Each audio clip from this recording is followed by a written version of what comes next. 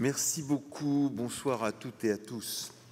Donc euh, nous engageons, euh, enfin vous n'êtes pas forcé de venir aux trois séances, hein, mais enfin moi en tout cas j'engage un cycle de trois euh, séances qui concernent, qui s'intitule 15 000 ans d'interaction entre l'homme et l'animal. 15 000 ans c'est astronomique, faramineux, on voit pas bien à quoi ça correspond, bah, c'est simplement 150 siècles.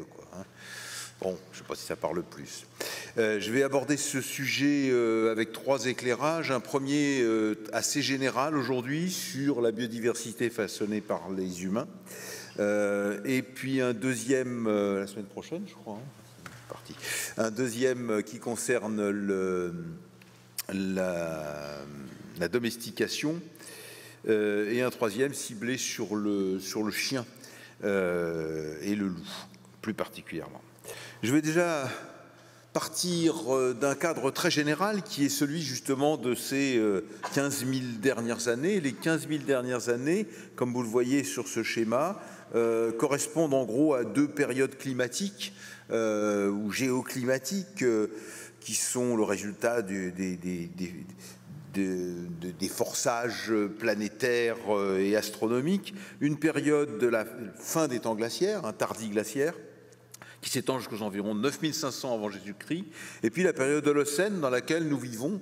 Euh, et vous voyez que la courbe rouge euh, qui est portée juste à côté en parallèle de cette double flèche, cette courbe rouge qui traduit finalement les températures globales euh, de, la, Terre au fur et à mesure de l'avancement de ces périodes sont, marque une, une, différence considérable entre le tardiglaciaire et l'Holocène. Alors, Déjà que je vous explique en deux mots d'où vient cette courbe rouge, comment connaît-on les températures euh, anciennes et avec autant de précision, puisqu'on voit que là, euh, ça fluctue vraiment avec beaucoup de précision. Et eh bien en fait, ces températures, ces températures, elles agissent sur la proportion entre deux isotopes de l'oxygène de forme euh, atomique de l'oxygène, l'oxygène 18 et l'oxygène 16, et en mesurant simplement la proportion d'oxygène 18 par rapport à l'oxygène 16, l'oxygène 18 il y en a très très peu, mais il y a des fluctuations importantes, ces fluctuations elles sont liées directement à la température globale. Donc il suffit de mesurer ici, là et ailleurs la proportion d'oxygène 18 et on a la température. Alors vous me direz, oui, c'est bien gentil, mais il y a 15 000 ans, on n'a pas... Mais si, parce que euh, l'atmosphère d'il y a 15 000 ans, l'eau d'il y a 15 000 ans, tout ça est piégé dans les calottes glaciaires, les calottes glaciaires des, montagnes, les calottes glaciaires euh, des, pôles. Et il suffit, il suffit, lorsqu'on dispose de carottes de glace très profonde, il suffit d'aller regarder la proportion d'oxygène 18 à toutes les profondeurs. Euh, on arrive à dater très précisément par la succession des petits empilements annuels euh, de glace, euh, les dosages qu'on fait, et on obtient cette courbe. Et vous voyez, cette courbe, elle nous montre que le tardiglaciaire est une période globalement froide. On est du côté bleu, hein, c'est comme pour les robinets, j'ai mis du bleu avec l'eau froide et du rouge avec l'eau chaude. Donc, de côté bleu, sont des températures basses. Globalement, le tardiglaciaire sont des températures basses, mais avec des fluctuations considérable, alors que pour l'Holocène, on a un réchauffement très brutal, très violent, d'une certaine manière, sur une période courte, et ensuite des températures qui sont plutôt clémentes, avec des faibles variations. Mais si on regarde ça à une autre échelle, vous voyez par exemple ici, il y a, une, une, pointe très forte, mais ça c'est une, variation de 6 degrés de température euh, euh, globale, c'est énorme c'est énorme. Hein. Donc il y a des fluctuations très importantes à l'Holocène, mais évidemment, comparées à celles de la fin des temps glaciaires, elles sont faibles. Bon, voilà donc le cadre, je dirais, climatique euh, de, des histoires que je vais vous raconter. Et puis il y a une deuxième composante qui fait que cette période des 150 derniers siècles, elle est extraordinaire et unique dans l'histoire, dans notre histoire bien sûr, mais dans l'histoire de la planète, euh, c'est que en même temps que se déroulaient ces fluctuations climatiques importantes, comme il y en a toujours eu à toutes les époques, eh bien, émerger un nouveau mode de vie pour l'humanité. L'humanité qui avait vécu jusqu'à présent de chasse et de cueillette, euh, peu à peu s'est engagée dans un mode de vie différent qui est fondé sur l'agriculture et l'élevage. Alors vous me direz, c'est juste une manière différente d'utiliser les ressources. Oui, mais non, parce que ça entraîne des structurations sociales complètement différentes, ça entraîne des alimentations différentes, ça entraîne une épidémiologie différente, ça entraîne des comportements, des références mentales différentes. Ça veut dire que l'humanité ne fait pas simplement changer de mode d'alimentation, elle change de mode de vie. Cette transition donc est extrêmement importante. Il y en a eu d'autres avant celle-là, bien sûr. Vous savez que entre Australopithèques, enfin, disons, entre les premiers homininés et les seconds, etc., etc., il y a eu des étapes extrêmement importantes, mais celle-ci est extrêmement importante parce qu'elle est liée, et on le sait et on le connaît bien, à des modifications sociales, économiques, culturelles, mentales extrêmement importantes. Il n'y a pas de... Euh, c'est les mêmes hommes, hein, ils ne sont pas plus intelligents euh, avant ou après avoir fait cette transition. C'est des homo sapiens comme vous et moi, ils ont exactement les mêmes capacités. On est dans des périodes très récentes de l'évolution de l'homme, mais c'est un fait majeur d'histoire de, de l'humanité pour cette raison, pour ce changement. Alors, ce changement, il peut se décliner, il peut se raffiner, parce que vous avez vu que mon schéma est très très très simple, hein, un rectangle, un triangle, mais dans la réalité, c'est un changement qui est progressif et qui est marqué par un certain nombre de phases, je dirais, identifiées d'accélération, mais pourtant tout ça est dans la continuité, bien entendu. Alors la, phase la plus ancienne, c'est celle qui voit cette émergence, et vous voyez qu'elle est longue, hein, c'est la phase de transition néolithique, c'est les premières apparitions de ces euh, groupes humains qui euh, élèvent et euh, cultivent. Mais il y a une phase très importante aussi qui est celle de l'urbanisation, c'est-à-dire l'organisation de tout un territoire avec des villages qui produisent pour nourrir une ville. Et à l'intérieur de la ville, qu'est-ce qui existe, qu'est-ce qui naît à cette époque? Regardez l'échelle chronologique. Hein. On est au sixième millénaire avant Jésus-Christ. Qu'est-ce qui naît? Eh bien, il naît notre terreur quotidienne, l'administration. J'ai rien contre les administratifs, croyez-le bien, mais c'est cette nécessité absolue d'organiser la vie d'une ville, la vie d'un terroir, qui a amené la nécessité de s'organiser, d'administrer. Et l'administration, elle est née à ce moment-là. Euh, bah, c'est un bien, c'est un mal, il y en avait besoin, et, je dirais que si on ne l'avait pas, ça serait une catastrophe absolue. Et en même temps que l'administration, qu'est-ce qui apparaît? L'écriture, bien sûr, parce que l'administration sans écriture, ça n'existe pas. Donc, pour faire très simple, vous voyez des modifications qui sont massives et qui sont pourtant pas celles du début du néolithique, ni celles du monde industriel. Alors après, on pourrait décliner ça avec les empires.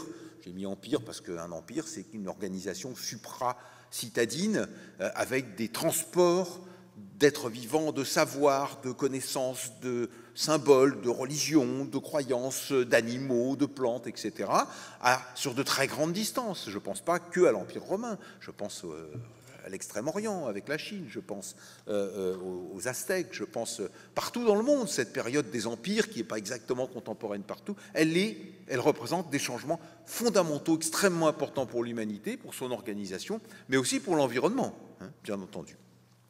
Industrialisation et puis mondialisation, je n'insiste pas. Ce sur quoi j'insiste, c'est sur le fait que on a affaire avec cette succession d'événements dont on voit bien que, c'est un petit peu comme l'entropie, euh, euh, ça ne fait que se compliquer tout le temps, eh on a affaire à une prise d'importance de plus en plus considérable de l'humanité sur l'environnement, sur la planète. Ce que je qualifierais aujourd'hui, pour simplifier en un seul mot, une anthropisation au sens où les choses deviennent humaines. Hein. L'environnement devient de plus en plus humain. Et c'est bien cette histoire de l'anthropisation que je vais essayer de vous décrire très brièvement, bien sûr. J'ai déjà pris trop de temps pour l'introduction, donc il va falloir que j'aille plus vite. Avec euh, d'abord quelques mots sur comment l'archéologie nous parle de l'anthropisation. Ce n'est pas évident que l'archéologie puisse parler de ce genre de choses. Ensuite, euh, je vous donnerai euh, un exemple d'invasion biologique très ancienne, un exemple d'organisme génétiquement modifié très ancien, un exemple de bouleversement de peuplement, en particulier sur les îles, et je m'interrogerai, ce qui s'appelle du passé au futur, je m'interrogerai sur euh, à quel moment ça a le plus bougé. Est-ce que c'est le néolithique qui a été la modification massive et puis après on n'a fait que suivre, ou est-ce que c'est euh, aujourd'hui, euh, avec ces préoccupations sociétales majeures que nous avons, la COP21, etc. Et je finirai, si j'ai le temps, avec quelques considérations un peu plus théoriques sur ce qu'est l'anthropisation. Donc j'y vais. Pourquoi l'archéologie peut nous parler de, euh, tout ça? Ben Parce que l'archéologie, euh, c'est elle qui va nous apporter ce qui reste de tout ça dans la, terre, hein, ce qui s'est figé dans les sites archéologiques. Euh, et ce que les hommes y ont mis d'une certaine manière. Donc ces images donnent une idée évidemment de la source de nos informations, qui est la fouille, de, d'autres formes de restes qui sont des restes architecturaux, des restes artistiques, euh, éventuellement des textes, mais les textes apparaissent très tard dans cette histoire, vous l'avez vu dans la chronologie. Euh, de poterie, de... et puis toutes ces choses-là nous parlent non seulement de l'homme, mais elles nous parlent de son environnement, elles nous parlent des plantes, elles nous parlent des animaux, en particulier toute une partie de la documentation archéologique. Ceux qui ont suivi les, conférences de Christine Lefebvre le savent euh, mieux que les autres, sans doute. toute cette documentation des restes animaux, des restes de plantes, qu'on trouve dans les sites archéologiques et qui vont nous parler non seulement de l'environnement, mais de ce que l'homme en a fait. Puisque s'ils sont dans le site archéologique, c'est que l'homme en a fait quelque chose. Soit ce sont ces os tout cassés que vous voyez ici, tout cassés parce que ce sont des restes de consommation, soit ce sont ces graines carbonisées. Pourquoi carbonisées Parce qu'on a torréfié, euh, grillé un certain nombre de graines pour les conserver, et certaines ont été plus brûlées que d'autres, elles étaient inaptes à la consommation probablement, mais elles se sont conservées pour cette raison. C'est aussi tout un environnement symbolique. J'ai mis ici une photo d'un univers funéraire qui nous raconte des choses extrêmement complètes et intéressantes sur non seulement la relation entre l'homme, les animaux, les plantes, l'environnement, mais sur la manière dont il le percevait, puisque dans cette mise en scène funéraire, il y a une image de la perception de l'au-delà par ces populations. Alors on ne va pas la décrypter aussi bien que si on avait un texte ou si on nous la racontait, bien sûr, parce qu'on est quand même dans l'archéologie, il ne reste plus que des bouts de squelettes. Mais on a ces indications. Et elles sont évidemment très importantes. Bien, euh, petite remarque euh, importante, c'est que euh, pour ces dernières 15 000 années, on n'est plus dans la même situation que pour le, Jurassique ou même pour le Paléolithique inférieur, on est dans une situation qui est juxtaprésente. C'est-à-dire que moi, je ne connais pas les, faunes éteintes du début du, du, Paléolithique. Je connais les animaux de maintenant. Les os que j'étudie, les des, qui sont là dans cette image, ce sont des os de moutons, de cochons, euh, de chats, ce sont des os d'animaux de maintenant. Il y a une continuité absolue. Ce sont les mêmes espèces, ce sont les mêmes formes. C'est tellement près dans le temps. Ce sont les mêmes humains, ce sont les mêmes écosystèmes, ou presque, qui fonctionnent pratiquement de la même manière. Donc c'est plus facile de transférer nos référentiels et d'interpréter ces observations que lorsqu'on travaille sur des périodes plus anciennes. Je parlais du début du paléolithique, mais évidemment, si on remonte aux mammifères du tertiaire ou aux dinosaures, c'est encore plus difficile. Il y a plus de difficultés de transfert. Et puis il y a une deuxième raison intéressante à cette proximité, une deuxième euh, composante euh, intéressante de cette proximité, c'est qu'elle est en prise directe avec ce qu'on observe aujourd'hui. C'est-à-dire si on veut comprendre l'ère de répartition de la belette, euh, aujourd'hui, eh bien, on peut remonter dans le temps avec ces restes archéologiques euh, sur 1000 ans, 2000 ans, 3000 ans, c'est toujours la même belette, et on, a là des clés de, compréhension de la structure actuelle, et donc on travaille en prise directe avec les écologues, euh, les mammalogistes, les ornithologues euh, et les anthropologues, bien sûr, puisque ces populations humaines ne sont pas très différentes de celles qu'on connaît aujourd'hui. Bien, voilà, première remarque. Deuxième remarque très, très rapide, c'est la datation. Évidemment, si on ne peut pas dater, tout ça précisément, on ne peut rien en faire. Donc la clé de la compréhension, c'est d'abord de dater. Euh, pour un paléontologue, euh, pour toutes les sciences historiques, c'est la clé. Dater et contextualiser. Alors, j'ai fait ce petit schéma rapide, je ne vais pas y passer des heures, mais pour vous montrer qu'on a un tas de choses pour dater. On pense tout de suite au, au carbone 14. Oui, bien sûr, c'est extrêmement important le carbone 14, les datations radiométriques en général, et c'est de plus en plus important, c'est une technologie qui nous apporte de plus en plus de précision. Mais on ne fait pas que ça, parce que parfois, dans certains contextes, on ne peut pas utiliser le carbone 14, et c'est plus fréquent qu'on ne pense. Alors, on date à partir d'une accumulation de connaissances faite par des générations et des générations d'archéologues qui nous permettent de savoir que telle poterie ou tel petit morceau de poterie correspond très exactement dans la région considérée à une tranche de temps qui est entre 2300 euh, et 2500 avant Jésus-Christ. Donc ça, c'est des éléments de datation qui ne sont pas très précis, qui sont plus discutables, mais qui sont extrêmement importants parce qu'on peut les utiliser pratiquement dans toutes les situations. Et puis, on a aussi des systèmes de datation parfois qui permettent, vraiment d'être extrêmement précis. La dendrochronologie, hein, c'est-à-dire le comptage des cernes des bois euh, carbonisés hein, qu'on arrive à utiliser et on peut dater à l'année près. Hein. Et puis, alors, évidemment, quand on a des textes ou quand on a des pièces de monnaie, ah, le bonheur de l'archéologue qui trouve une pièce de monnaie sur laquelle est écrite la date. Ça m'est arrivé une fois dans ma vie. C'était 1732, je crois. J'étais en train de fouiller des couches que je pensais être du XIVe siècle. Mais c'est quand même un bonheur, parce que là, on sait où on est. Bon, d'accord, ok. Mais j'ai pas, heureusement, j'ai pas réussi à lire la date au moment de la fouille. Il a fallu nettoyer un petit peu la pièce. Bon, voilà, donc euh, euh, voilà ces éléments de qui sont très importants. Donc je quitte la méthodologie et j'en viens à des exemples. Ces exemples, je les ai choisis assez divers, mais ils ont tous un point commun, c'est qu'ils sont censés vous montrer que tout ce, qu'on, tout ce dont on parle aujourd'hui comme fait majeur de l'impact de l'humanité sur son environnement, euh, ça a démarré il y a longtemps, très longtemps. Et je dirais que ça a démarré avec l'homme et peut-être même avec les homininés, les hominidés, puisque par définition, toutes les espèces vivantes euh, impactent leur environnement immédiat. Les grands singes, euh, quand ils arrivent en groupe dans, euh, un endroit où ils vont passer la nuit, eh ben, ils impactent leur environnement. Ils arrachent des feuilles, ils font leur nid, ils se débrouillent, bref, ils salissent, ils mangent.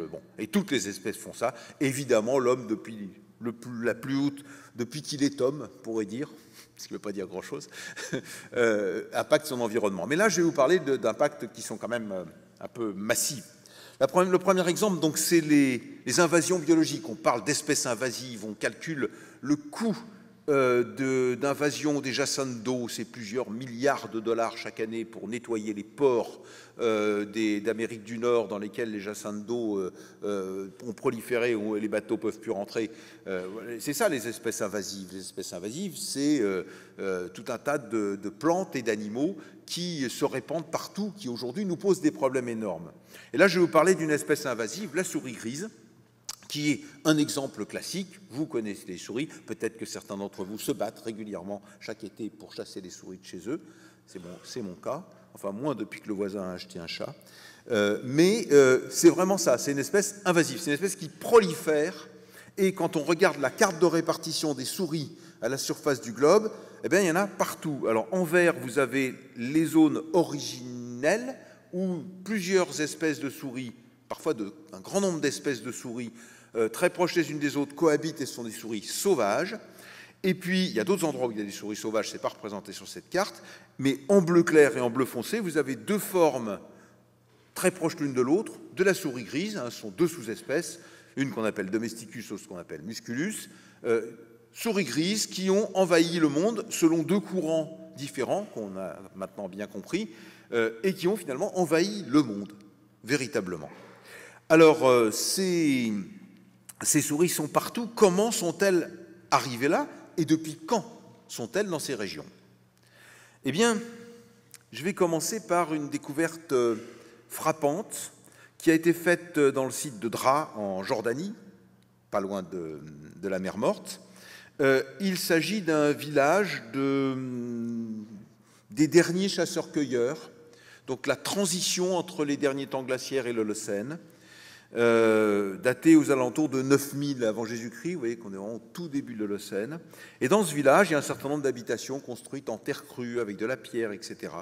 Et là, vous voyez la photo d'une de, de ces constructions qui est très particulière, parce qu'il s'agit en fait d'un grenier.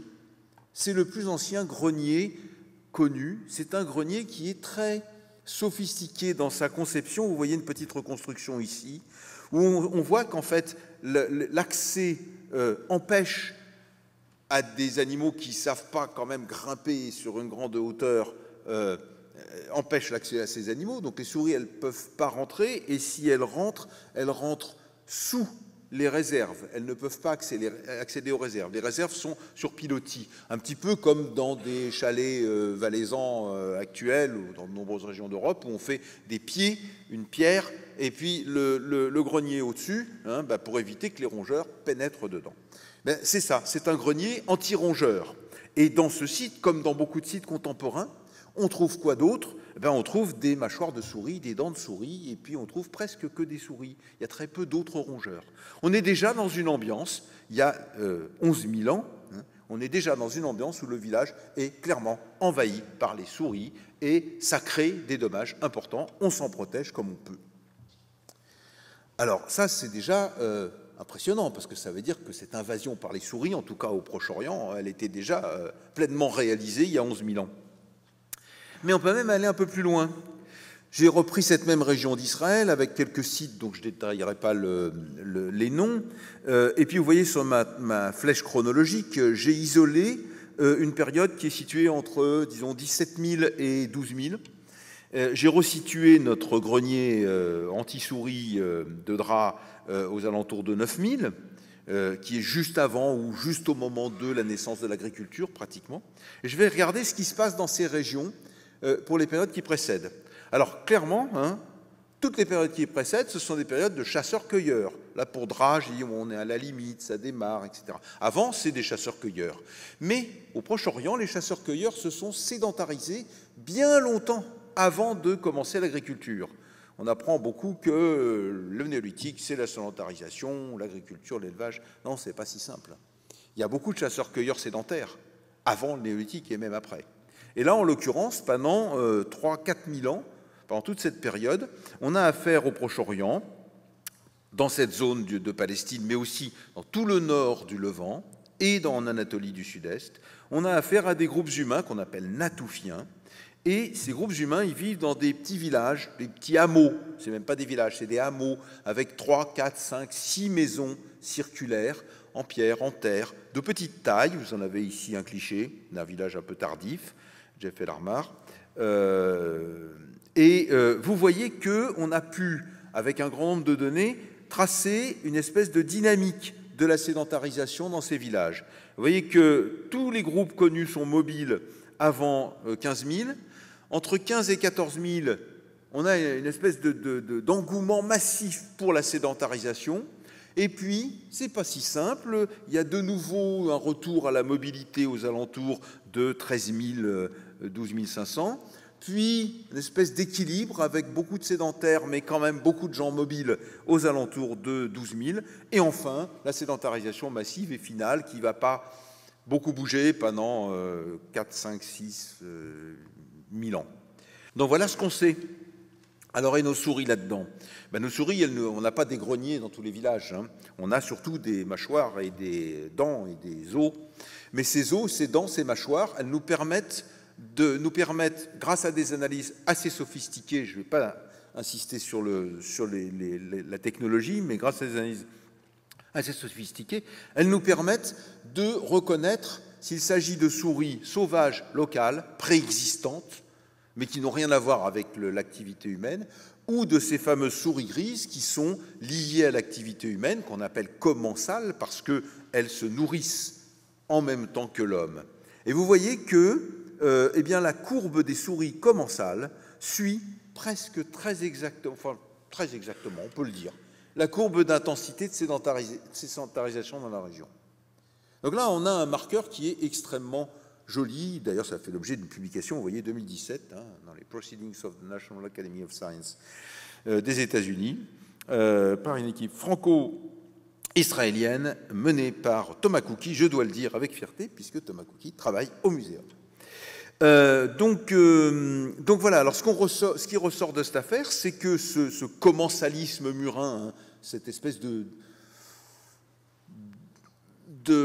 d'accueil involontaire finalement de souris au sein des villages a débuté il y a 150 siècles et il résulte clairement non pas de l'agriculture qui démarre beaucoup plus tard, mais d'une sédentarisation. Alors vous me direz, euh, oui, mais alors c'est pas simplement parce qu'il y a des hommes dans des maisons que les souris y viennent, bien sûr, c'est parce que ces hommes dans les maisons font des réserves déjà de euh, céréales, créer des déchets de traitement des céréales, etc. Ils sont d'une certaine manière dans leur façon d'accumuler, euh, d'attirer euh, des espèces autres, ils sont des pré-agriculteurs, mais ils ne sont pas encore agriculteurs. Donc ce sont des chasseurs qui finalement attirent ces animaux et, favorisent ce phénomène de commensalisme et finalement d'invasion biologique. D'invasion biologique, là très rapidement sur des cartes dont je vous prie de m'excuser de la médiocre qualité, j'ai pas eu le temps de les refaire toutes belles, elles sont prises directement de la publication d'un dénomatum à cookie, le même d'ailleurs, et qui travaille toujours au muséum, qui travaillait à l'époque, qui terminait sa thèse. Eh bien, euh, on voit sur ces cartes euh, l'avancée justement de la souris.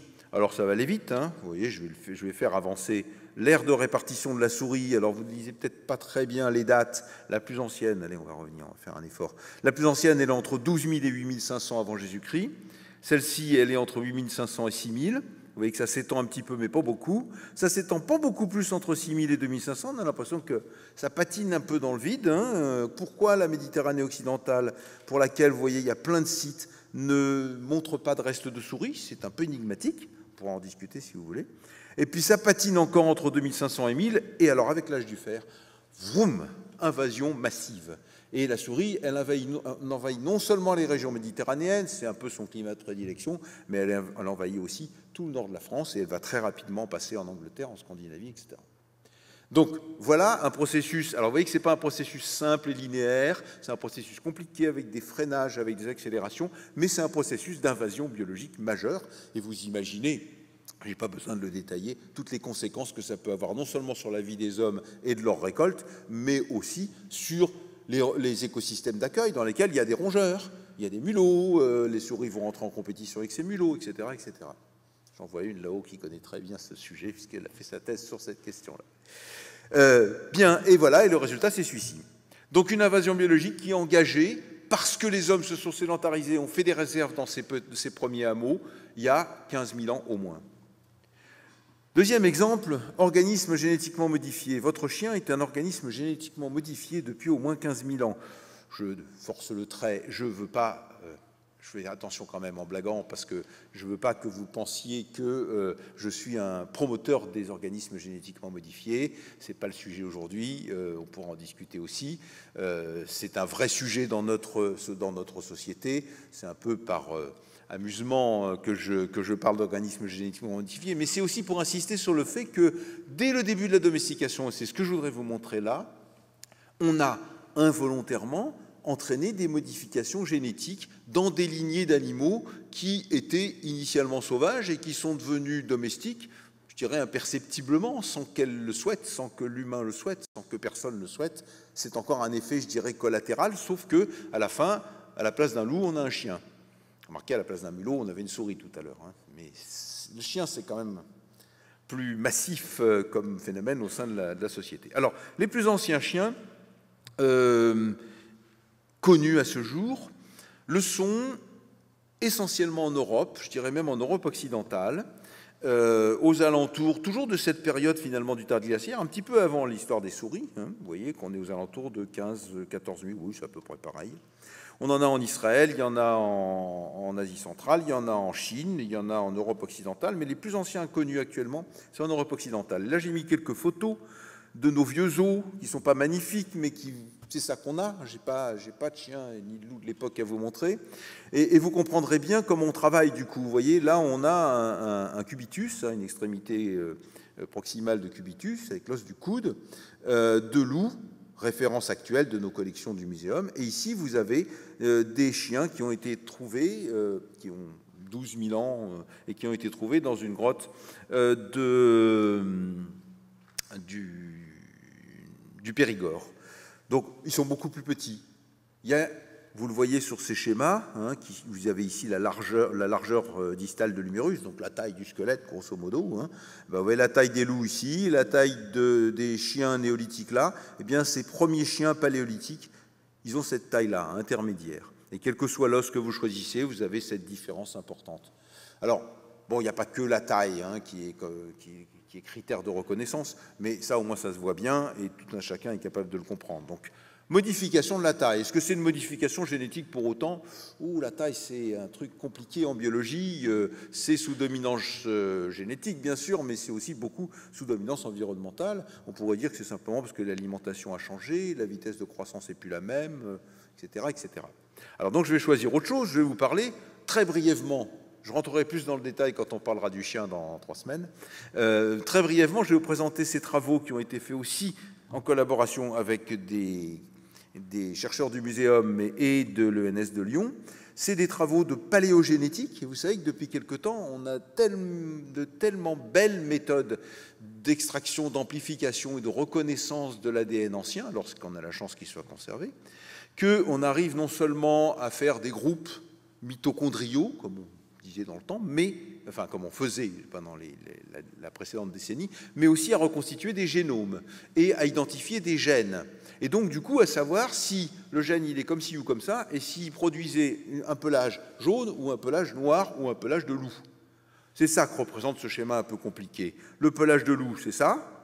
Le pelage muté sur une molécule qu'on appelle la mélanocortine et sur le gène donc qui produit cette molécule, ça donne un pelage jaune ou alors une autre composante du déterminisme génétique de la couleur de pelage, qui est la bêta-défensine, donne un pelage muté noir. Donc ça, ce sont des pelages qui, dans la nature, n'existent pas, tout simplement parce que si par hasard une bête naît avec un pelage comme ça, elle n'a aucune chance de survivre, elle va être tout de suite euh, éliminée euh, par euh, la prédation, etc. Alors que quand on commence à trouver massivement les gènes qui portent ces mutations, on peut se dire que les canidés en question ne sont plus sous le même régime de pression de sélection, et on peut supposer, surtout s'ils sont plus petits, qu'il s'agit bien de chiens. Alors voilà euh, des, cartes d'Eurasie avec des points de référence. Vous voyez que le pelage jaune, il apparaît ici dans la partie paléolithique mésolithique, et le pelage noir, il apparaît aussi ici dans cette partie-là. Ça veut dire qu'on a effectivement des organismes qui sont génétiquement modifiés, pas volontairement, pas manipulés bien sûr, hein, mais génétiquement modifiés parce qu'on les a amenés dans l'environnement anthropisé et qu'ils ont échappé aux pressions de sélection qui étaient les leurs en tant que loups et, que leur évolution a très rapidement été dominée par des pressions de sélection qui sont complètement différentes, qui peuvent être je sais mieux aider l'homme, je sais communiquer avec l'homme, j'apprends à aboyer et non plus à hurler, parce que l'aboiement, c'est un moyen de communication avec l'homme, qui a été construit entre ces deux espèces, euh, non pas forcément pour raison de domestication, mais pour raison d'intérêt commun, d'hybridation entre, non pas entre les espèces, mais entre les sociétés de loups et les sociétés d'hommes. Donc on a là affaire à un changement complet de mode de vie, d'environnement, qui fait que les pressions de sélection sur les chiens, sur les, derniers loups, les premiers chiens domestiques, ne sont pas les mêmes. Et du coup, on va voir apparaître un tas de choses. J'en dirai un peu plus dans trois semaines. N'hésitez pas à revenir. Donc, euh, voilà, mutation de la couleur du pelage, je vous l'ai dit. Euh, sur cette question euh, des organismes génétiquement modifiés, on ne va pas s'alourdir trop là-dessus.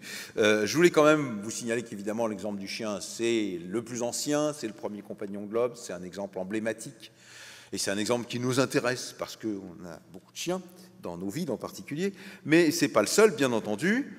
Le suivant, tiens donc, c'est le chat. Dans l'ordre chronologique, pour l'ancien monde, euh, c'est le chat qui a été domestiqué ensuite.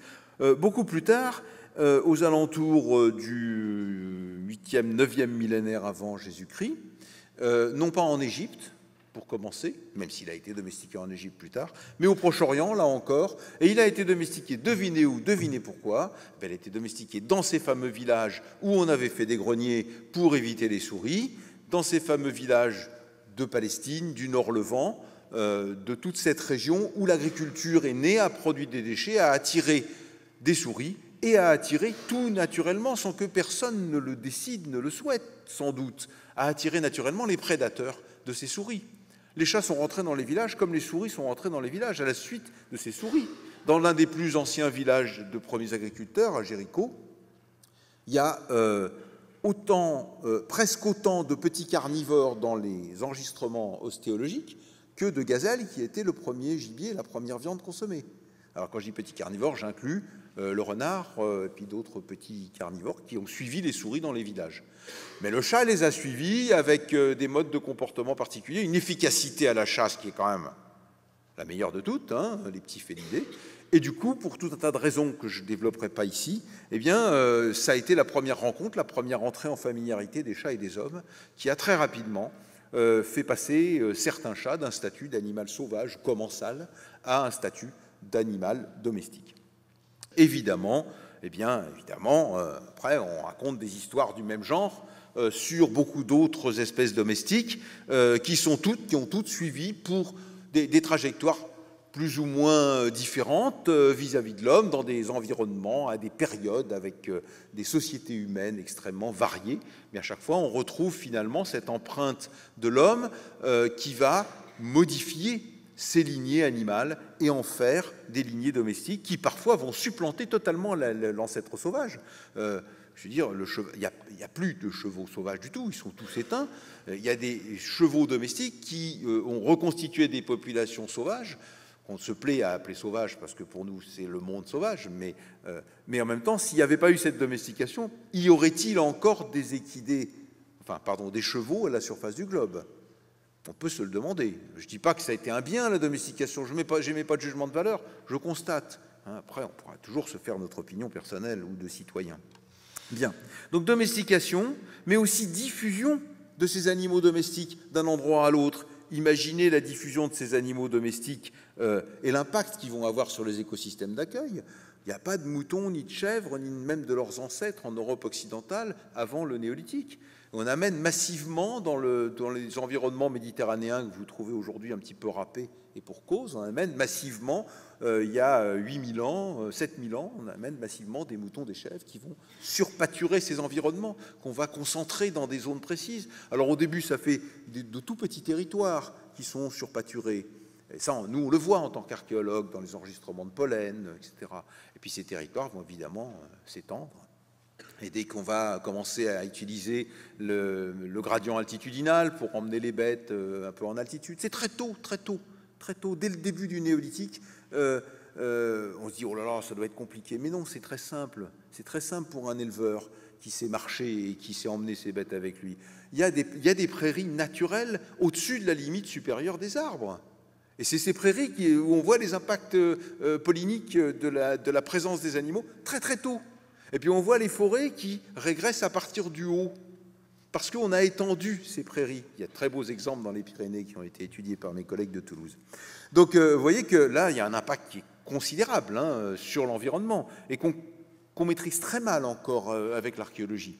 Mais on peut imaginer que c'est une voie pour mieux comprendre ce qui s'est passé. Et puis il y a un autre impact qu'on maîtrise encore plus mal et qui est extrêmement important, qui est un enjeu majeur des recherches futures, à mon avis, c'est de comprendre l'impact de ces transports d'animaux sur la diffusion des micro-organismes et des maladies. Aujourd'hui, dans nos sociétés occidentales, euh, il y a entre 60 et 80% des maladies contagieuses qui sont transportés ou dans lesquels un animal domestique intervient. Donc imaginez la mise en promiscuité, il y a 11 000 ans, des chats des hommes, des, loups des hommes, des bovins avec des hommes, etc. Imaginez l'ambiance épidémiologique et le changement majeur d'ambiance épidémiologique que ça a pu provoquer pour les hommes et peut-être pour les bêtes aussi. Ça, c'est un premier point. Ensuite, imaginons, quand on a transporté ces animaux de proche en proche depuis le Proche-Orient jusqu'en Bretagne ou, en Écosse, euh, on a transporté les germes avec. Euh, les populations humaines se sont sans doute adaptées, etc., euh, etc. Mais c'est un truc énorme. Alors, on, l'imagine seulement pour l'instant. On a très peu de données paléoparasitologiques. On commence à en avoir.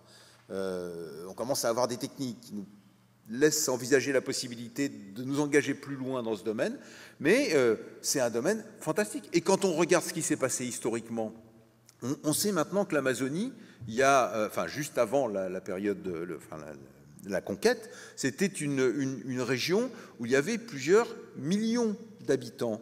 Euh, on découvre avec des techniques comme le LIDAR euh, des, mini-villes, alors qu'on pensait que c'était des chasseurs mobiles, euh, des petits groupes de rien du tout. Il y avait des populations très importantes en Amazonie. Et ces populations, en l'espace de 50 ans, elles ont été diminuées des deux tiers. Et, les descriptions qu'on a de ces populations, petits groupes de chasseurs mobiles, c'est des descriptions qui sont liées aux explorateurs deuxième génération, si on peut dire, hein, qui ont été les plus nombreux, les plus, qui ont le plus décrit, mais c'était fini l'Amazonie. Euh, de la même manière, euh, on, connaît de nombreux exemples où finalement l'introduction des microbes nouveaux a décimé, quand je dis décimé, c'est même plus que ça, a réduit à néant des civilisations entières. Mais pourquoi pas au néolithique? Pourquoi est-ce qu'on n'arrive pas à trouver les traces des derniers chasseurs en Europe on a, beaucoup de mal, les tout derniers, ceux qui sont juste avant le néolithique. On ne les trouve pas. Souvent, on dit il y a un hiatus chronologique entre les derniers chasseurs et les premiers néolithiques. Ils ont flairé que deux siècles plus tard, les néolithiques allaient arriver, non? Il y a une raison sans doute à ça, je ne sais pas laquelle, mais je pense qu'il faut explorer des pistes de ce genre. Bon, voilà, je ne vais pas m'étendre plus parce que j'ai d'autres choses à vous raconter. Alors, et puis, euh, ça va, ça va, attention. Hein. Euh, l'autre exemple que je voulais prendre, euh, c'était celui de, peuplement entier. Alors, il ne s'agit plus d'une espèce invasive ou d'une espèce domestique, il s'agit de cortèges de, faune. Euh, il y a très très très longtemps, lorsque j'étais jeune et vigoureux, j'ai fait une thèse sur les faunes de Corse. On m'avait dit, va pas là-bas, c'est que du granit, les eaux ne sont pas conservées, il n'y a rien à faire. Vous voyez qu'avec le nombre de points rouges qu'il y a sur la carte, j'ai quand même réussi à trouver pas mal de sites. Et puis j'en ai même fouillé un certain nombre, j'ai trouvé plein d'os, etc. Et puis avec tout ça, euh, au départ, j'étais parti surtout sur une histoire du néolithique euh, sur ces îles. en fait, je me suis trouvé très très rapidement avec une histoire complètement, enfin beaucoup plus intéressante, qui n'est pas seulement l'histoire du néolithique, même si elle l'inclut, mais qui est l'histoire finalement de toute l'interaction homme-mammifère, puisque je m'étais concentré sur les mammifères, homme-mammifère sur cette île durant euh, bah, les, les 10 000 dernières années, puisque durant les 15 000, on n'a pas grand-chose en Corse. Alors, Là, j'ai mis ma flèche chronologique, euh, j'ai pas mis de flèche d'ailleurs, enfin si, j'en ai mis une rouge, mais j'ai mis ma, mon échelle chronologique, ma frise chronologique horizontalement. Ne soyez pas déboussolés pour autant. Vous avez les périodes les plus anciennes à gauche, 10, 12 000, et les périodes actuelles. Bon, ça s'arrête à 2000, mais euh, pas à quelques dizaines d'années près avec euh, ce raffinement d'échelle. Et ce qu'on retrouve, c'est la transition tardiglaciaire-holocène, hein, qui est notre repère. Et puis on a euh, les trois cases euh, rose, jaune et bleu qui nous restituent les grandes étapes de l'évolution humaine, l'évolution sociale sur l'île de Corse. Alors vous voyez que là où j'ai mis la grosse flèche rouge, c'est les premiers indices de présence humaine. Avant, il n'y en a pas. Ça, c'est un mystère absolu. Euh, avant 9000 ou 8500 avant Jésus-Christ, il n'y a pas d'indice de présence humaine en Corse. Et puis il y a des faunes insulaires qui ne semblent pas être chassées. Donc ça renforce cette idée. Alors je ne vais pas m'étendre là-dessus, mais on a tout d'un coup des gens qu'on appelle mésolithiques. Mésolithiques, c'est des chasseurs de l'Holocène. Hein.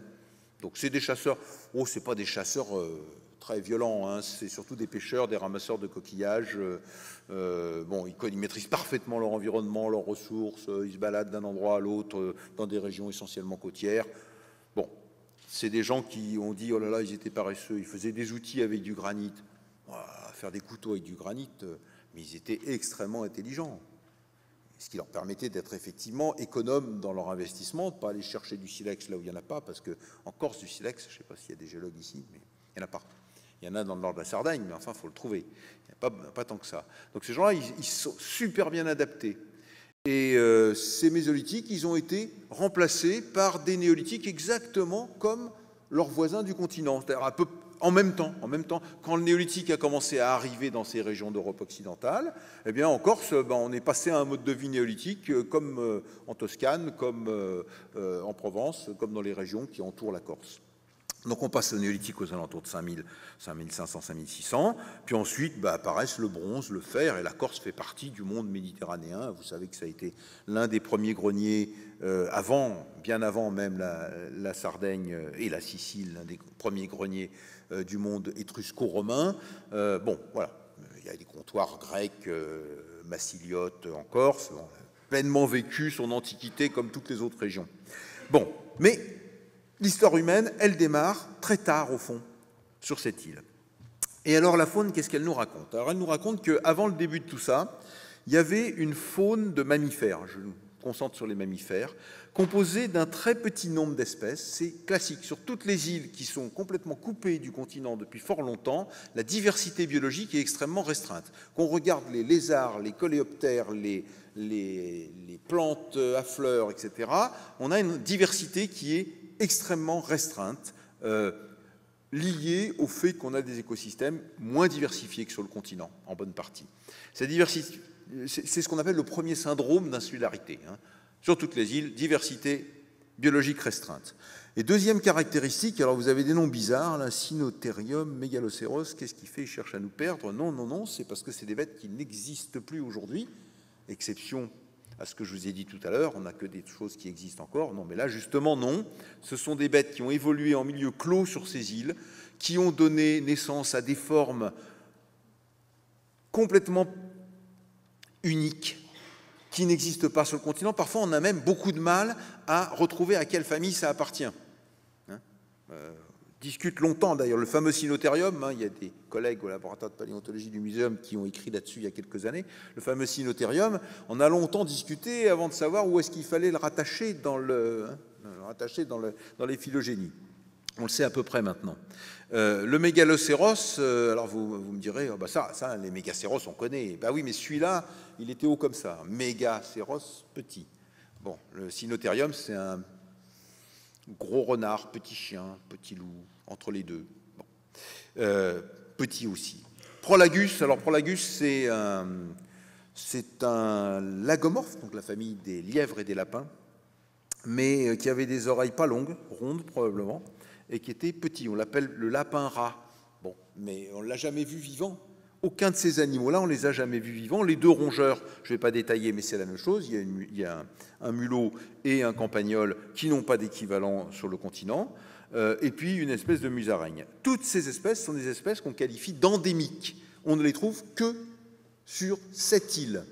Elles peuvent avoir des espèces cousines sur des îles comme les Baléares ou sur le continent ou très loin en Asie centrale, pour le Prolagus par exemple, mais la forme exacte n'est présente que là.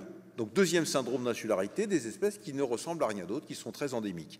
Alors après, il y a un troisième syndrome qui est que les plus grandes espèces diminuent de taille, sont de petite taille, alors que les plus petites sont plutôt plus grosses.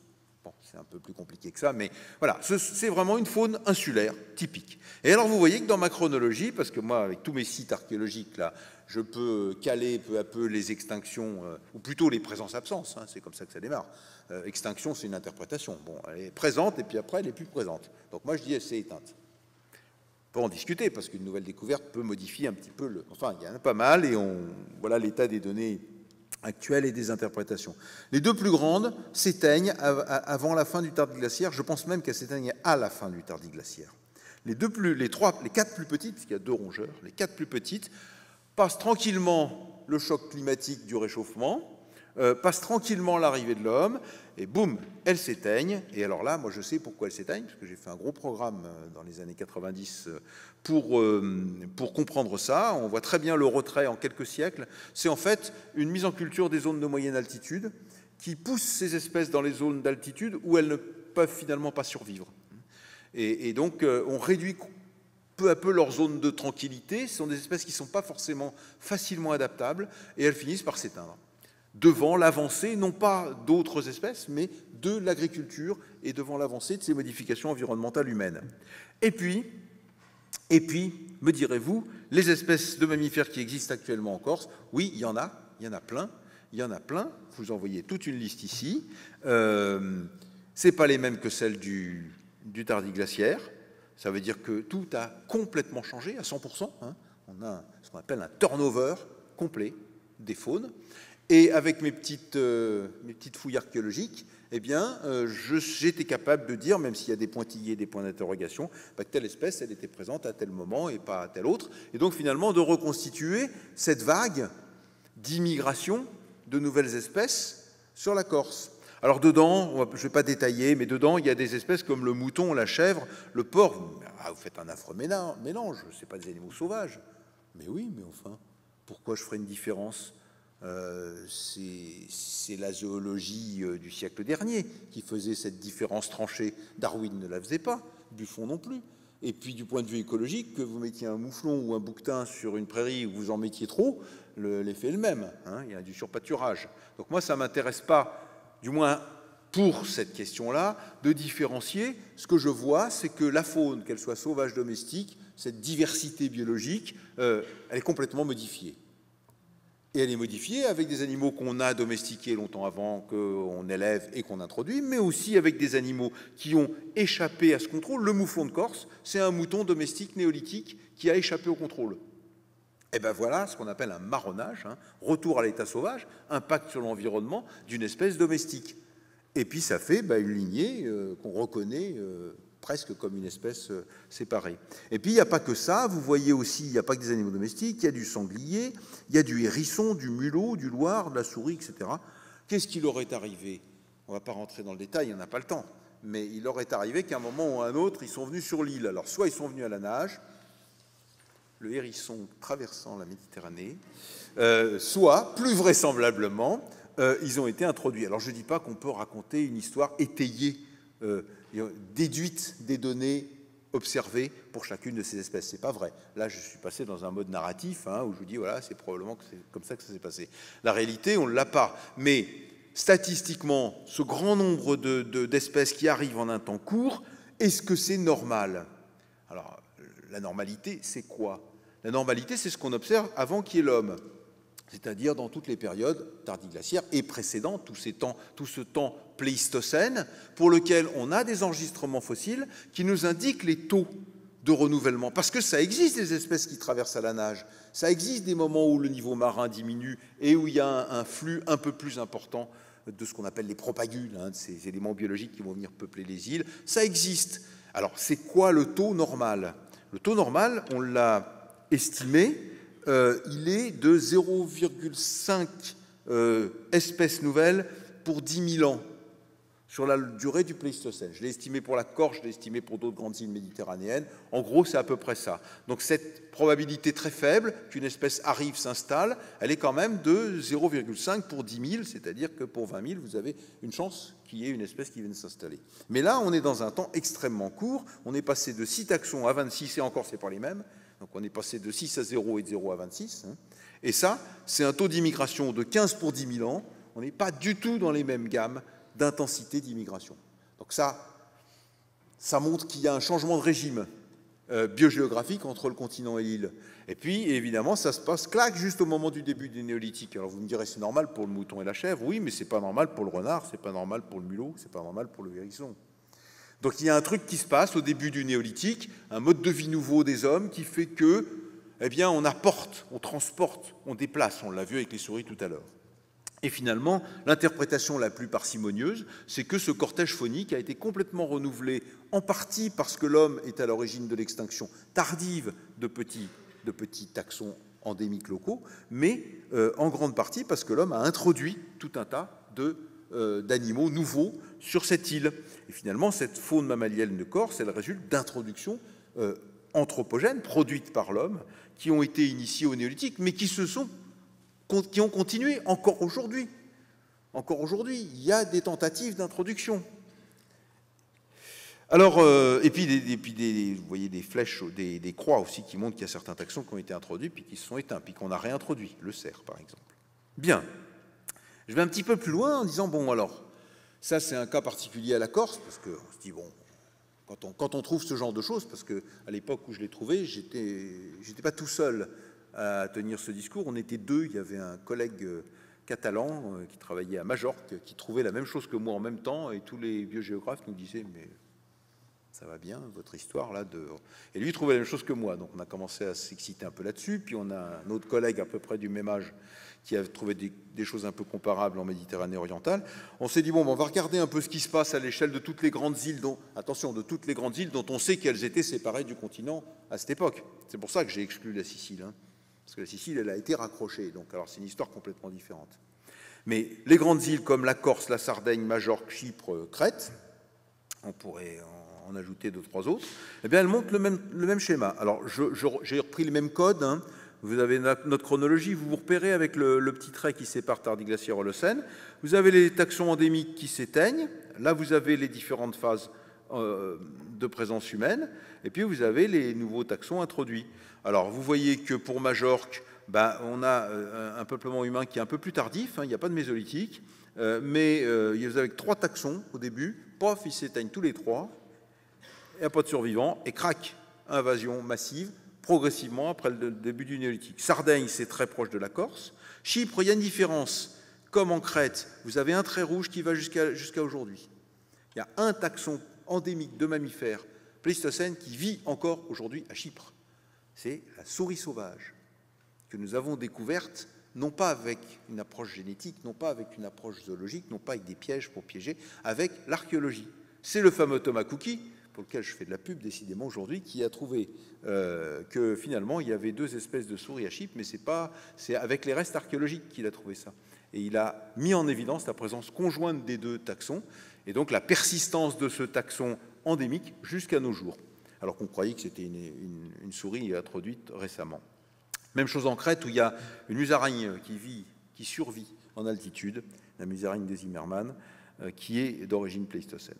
Donc voilà, à chaque fois, on a le même schéma. On a le même schéma, et finalement, ce qu'on en tire, c'est que le déplacement d'espèces par l'homme est un phénomène très précoce et beaucoup plus important que ce qu'on pensait, du moins lorsqu'on regarde les îles.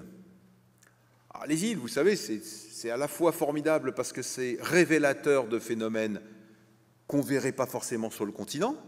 Pourquoi? Bah, Parce que c'est un espace restreint, c'est un espace simplifié. Euh, c'est ce que Darwin avait bien compris et bien d'autres après lui. Euh, mais euh, il faut faire attention à pas, on n'a pas le droit de généraliser comme ça d'un coup et dire partout ça a été comme ça, l'homme est arrivé, tout s'est éteint et allez, il a introduit quelque chose de nouveau. D'ailleurs, c'est pas le cas, on le sait. Et puis même sur les îles, si on change, si on ne garde pas les mammifères mais qu'on garde les reptiles et amphibiens, on n'a pas le même schéma. Hein. Il y a beaucoup moins d'impact anthropique sur les reptiles et amphibiens. Donc, euh, donc euh, l'idée, euh, l'idée de départ, c'est à la suite de ces travaux qui, comme je vous l'ai dit, sont anciens, l'idée de départ, c'était d'une part d'aller voir si sur le continent c'était comme sur les îles, et d'autre part, au début des années 2000, c'était une question qui me taraudait, de savoir si cette néolithisation, qui paraissait être un truc majeur, euh, parce que c'était le premier grand impact, même si ça démarre un peu avant le néolithique, premier grand impact humain, euh, du moins dans l'ancien monde. Si cette néolithisation avait produit des effets gigantesques et qu'on vivait actuellement sur finalement euh, des déclinaisons de ces effets, ou bien si au contraire c'était juste des prémices et puis qu'aujourd'hui on vivait quelque chose de complètement extraordinaire. Alors aujourd'hui c'est une question qui a, qui a plus grand sens parce qu'on l'a bien résolu, mais au début des années 2000, on commençait à se soucier, euh, enfin Rio c'était 1992, hein, c'était pas si vieux que ça, c'était huit ans auparavant, hein, on avait commencé à se soucier de la biodiversité, euh, de, la, ce qu'on allait en faire. Euh, donc on se posait ces questions-là. Donc je me suis dit, ça serait bien qu'on arrive à comparer les effets du néolithique et les effets de ce qu'on vit actuellement. Et j'avais un bon copain auquel je rends un hommage appuyé aujourd'hui, puisqu'il nous a quittés, Michel Pascal, avec lesquels on passait des heures à fumer nos pipes dans, le, dans les bureaux, parce qu'à l'époque on fumait la pipe dans les bureaux, vous vous rendez compte quelle honte, euh, et on, discutait, on se faisait on refaisait le monde, et un jour on s'est dit mais il faut qu'on compare. Et Michel, il m'a dit, mais moi j'ai plein de données sur les faunes actuelles, et puis toi, tu as les données archéologiques, on va essayer de mettre ça en connexion. C'est pas facile sur le plan méthodologique, mais on a essayé de le faire, puis on a fait un bouquin, je vous fais pas la pub pour le bouquin, mais je vous l'indique quand même, on fait un bouquin avec euh, Michel Pascal, Olivier Lorvelec, euh, qui a été la suite d'une enquête qui avait été commanditée par l'INRA, euh, où on a essayé de comparer le néolithique et les différentes phases successives, euh, leur impact sur les faunes de France. On a choisi les faunes de France et on a, comme c'est un travail énorme et, très compliqué dans le détail, on s'est limité à des choses simples extinction, apparition d'espèces à l'échelle de la France, en prenant les frontières actuelles, ce qui est un peu stupide, mais bon, en même temps, elles sont là. Et, voilà. Euh, et puis, euh, puis en, regardant aussi à l'intérieur des régions françaises comment ça s'était passé. Donc on a développé ce travail, je vous en donne juste les, les, résultats finaux euh, sur euh, les extinctions. Alors, disparition et extinction. Une disparition, c'est le renne, qui a disparu de notre territoire national à la fin des temps glaciaires, mais qui existe encore dans des zones septentrionales. Extinction, c'est le mammouth, qui n'existe plus nulle part. Donc on a distingué les deux, mais au fond, quand on les cumule, euh, on se rend compte que... Alors, on a identifié 585 taxons de mammifères qui entraient dans notre dans notre corpus, C'est-à-dire c'est des espèces de mammifères dont on sait qu'elles ont été présentes à un moment donné durant cette période, fin du tardiglaciaire, Holocène, euh, fin, période actuelle. Donc 585, alors on pourrait discuter sans doute, c'est peut-être 580, c'est peut-être 590, mais enfin grosso modo on était sur quelque chose d'assez argumenté, et on s'est rendu compte qu'en fait il n'y avait que 9% des espèces initialement présentes euh, qui, euh, qui s'étaient éteintes, c'est pas beaucoup globalement, et qui, avaient disparu, pardon, dont 10 qui étaient 10 taxons sur les 51 qui représentent ces 9%, 10 taxons qui étaient éteints. Et alors on a fait une, représentation diachronique qui est un peu particulière parce que si, si on veut la lire, il ne faut pas qu'on fasse des largeurs euh, de classes de temps toutes identiques. Parce que euh, on a énormément de documentation et de choses qui se passent à la fin, c'est-à-dire dans les classes 5, 6, 7. Vous voyez ici, c'est donc entre 1800 et 2002. Hein. Euh, et puis, dans les choses qui précèdent, on n'a pas grand-chose qui se passe et on a une précision de temps qui est faible. Donc, il faut bien vous représenter que la classe 1, elle va de 9200 à 3000, c'est-à-dire c'est 6200 ans alors que la classe 7, elle va de la Seconde Guerre mondiale à 2002, fin de l'enquête. Donc on ne peut pas comparer les largeurs, mais on peut comparer les hauteurs, puisqu'on a rapporté tous les taux d'extinction à une durée de temps commune, bien sûr, sinon on ne comparerait rien du tout. Et vous voyez que la durée de commune, c'est pratiquement zéro, proche de zéro pour les périodes anciennes, euh, zéro par, euh, par siècle. Hein. Et puis très rapidement, là, dès qu'on arrive aux alentours de 1600-1800, début de l'industrialisation, ensuite on a une augmentation considérable du taux d'extinction, même s'il est globalement faible, c'est là que ça se passe, c'est maintenant, c'est avec l'industrialisation que ça se passe. Alors on avait un espoir très très sympathique, c'est qu'on voyait que ça avait l'air de diminuer entre la fin, l'entre-deux-guerres et euh, la, fin du XXe siècle. En fait, cette diminution, euh, on l'avait bien analysée, il faut se méfier des données purement quantitatives. Hein. Qualitativement, on avait une augmentation considérable des espèces en danger, dont les effectifs étaient réellement très réduits. Ce qui s'est passé à partir de la Seconde Guerre mondiale, c'est qu'on a commencé la biologie de la conservation un peu plus tard, mais on a commencé à protéger des espèces. Donc en fait, des espèces qui étaient vraiment en danger, on a stoppé le processus d'extinction en réduisant euh, les impacts, mais on a conservé des très petites populations qui sont en grand danger. Et du coup, on a l'impression qu'il y a moins d'extinction, mais il y a de plus en plus de populations en danger. Et là, si on continuait notre, euh, notre courbe, hein, je pense qu'on verrait, enfin je crois que j'ai vu une courbe récemment euh, de ce type qui prolonge ce qu'on a fait, on verrait une réaugmentation de l'extinction. Enfin, surtout sur d'autres taxons que les vertébrés.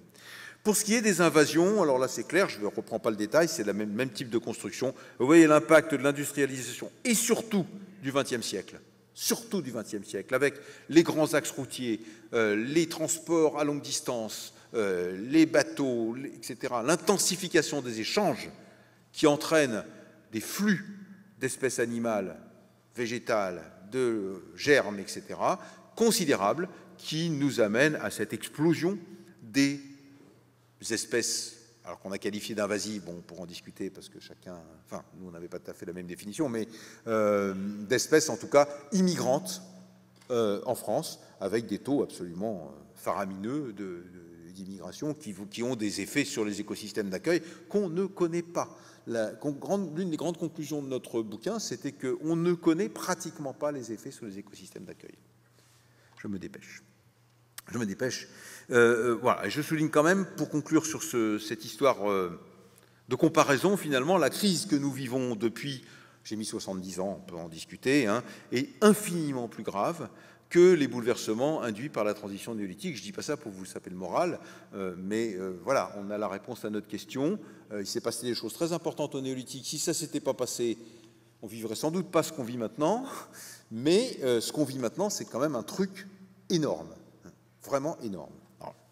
je vous apprends sans doute rien, mais je vous ai montré en tout cas le débattement chronologique de l'affaire. Je vais terminer avec quelques considérations plus théoriques mais qui peuvent peut-être vous, vous laisser ressortir de cette salle avec une vision plus claire de ce que c'est que finalement cette anthropisation et l'appliquer finalement à votre vie de tous les jours et puis à votre vie de citoyen, puisqu'on est tous confrontés, confrontés à ces défis sociétaux. Sur cette photo, Euh, j'ai mis des étiquettes sur les écosystèmes. Enfin, bon, il y en a, plus que deux, mais j'ai mis des, étiquettes. En fait, l'écosystème qu'on est en train de moissonner, là, euh, c'est un écosystème entre guillemets, mais c'est un écosystème anthropique. Hein. c'est un champ de blé, en particulier de petits épeautres en grains, puisqu'on est là en, en Haute-Provence. Donc c'est un, ensemble, une communauté qu'on a constituée artificiellement. Et puis derrière, il y a cette forêt de, de versants, euh, qui est une forêt entièrement modifiée par une activité humaine extrêmement intense, même si on a l'impression que c'est la nature et qu'on va aller s'y promener euh, dans un milieu sauvage. Mais non, pas du tout. Vous avez des traces au sol dans, chaque virage de chemin de, de, meules de charbonniers. Cette forêt a été coupée, recoupée, recoupée, recoupée pour faire du charbon de bois pendant des siècles. Euh, vous avez des, ne serait-ce que les, la CP, hein, la manière dont les arbres poussent, qui montre très clairement que tout ça a été entièrement exploité, organisé.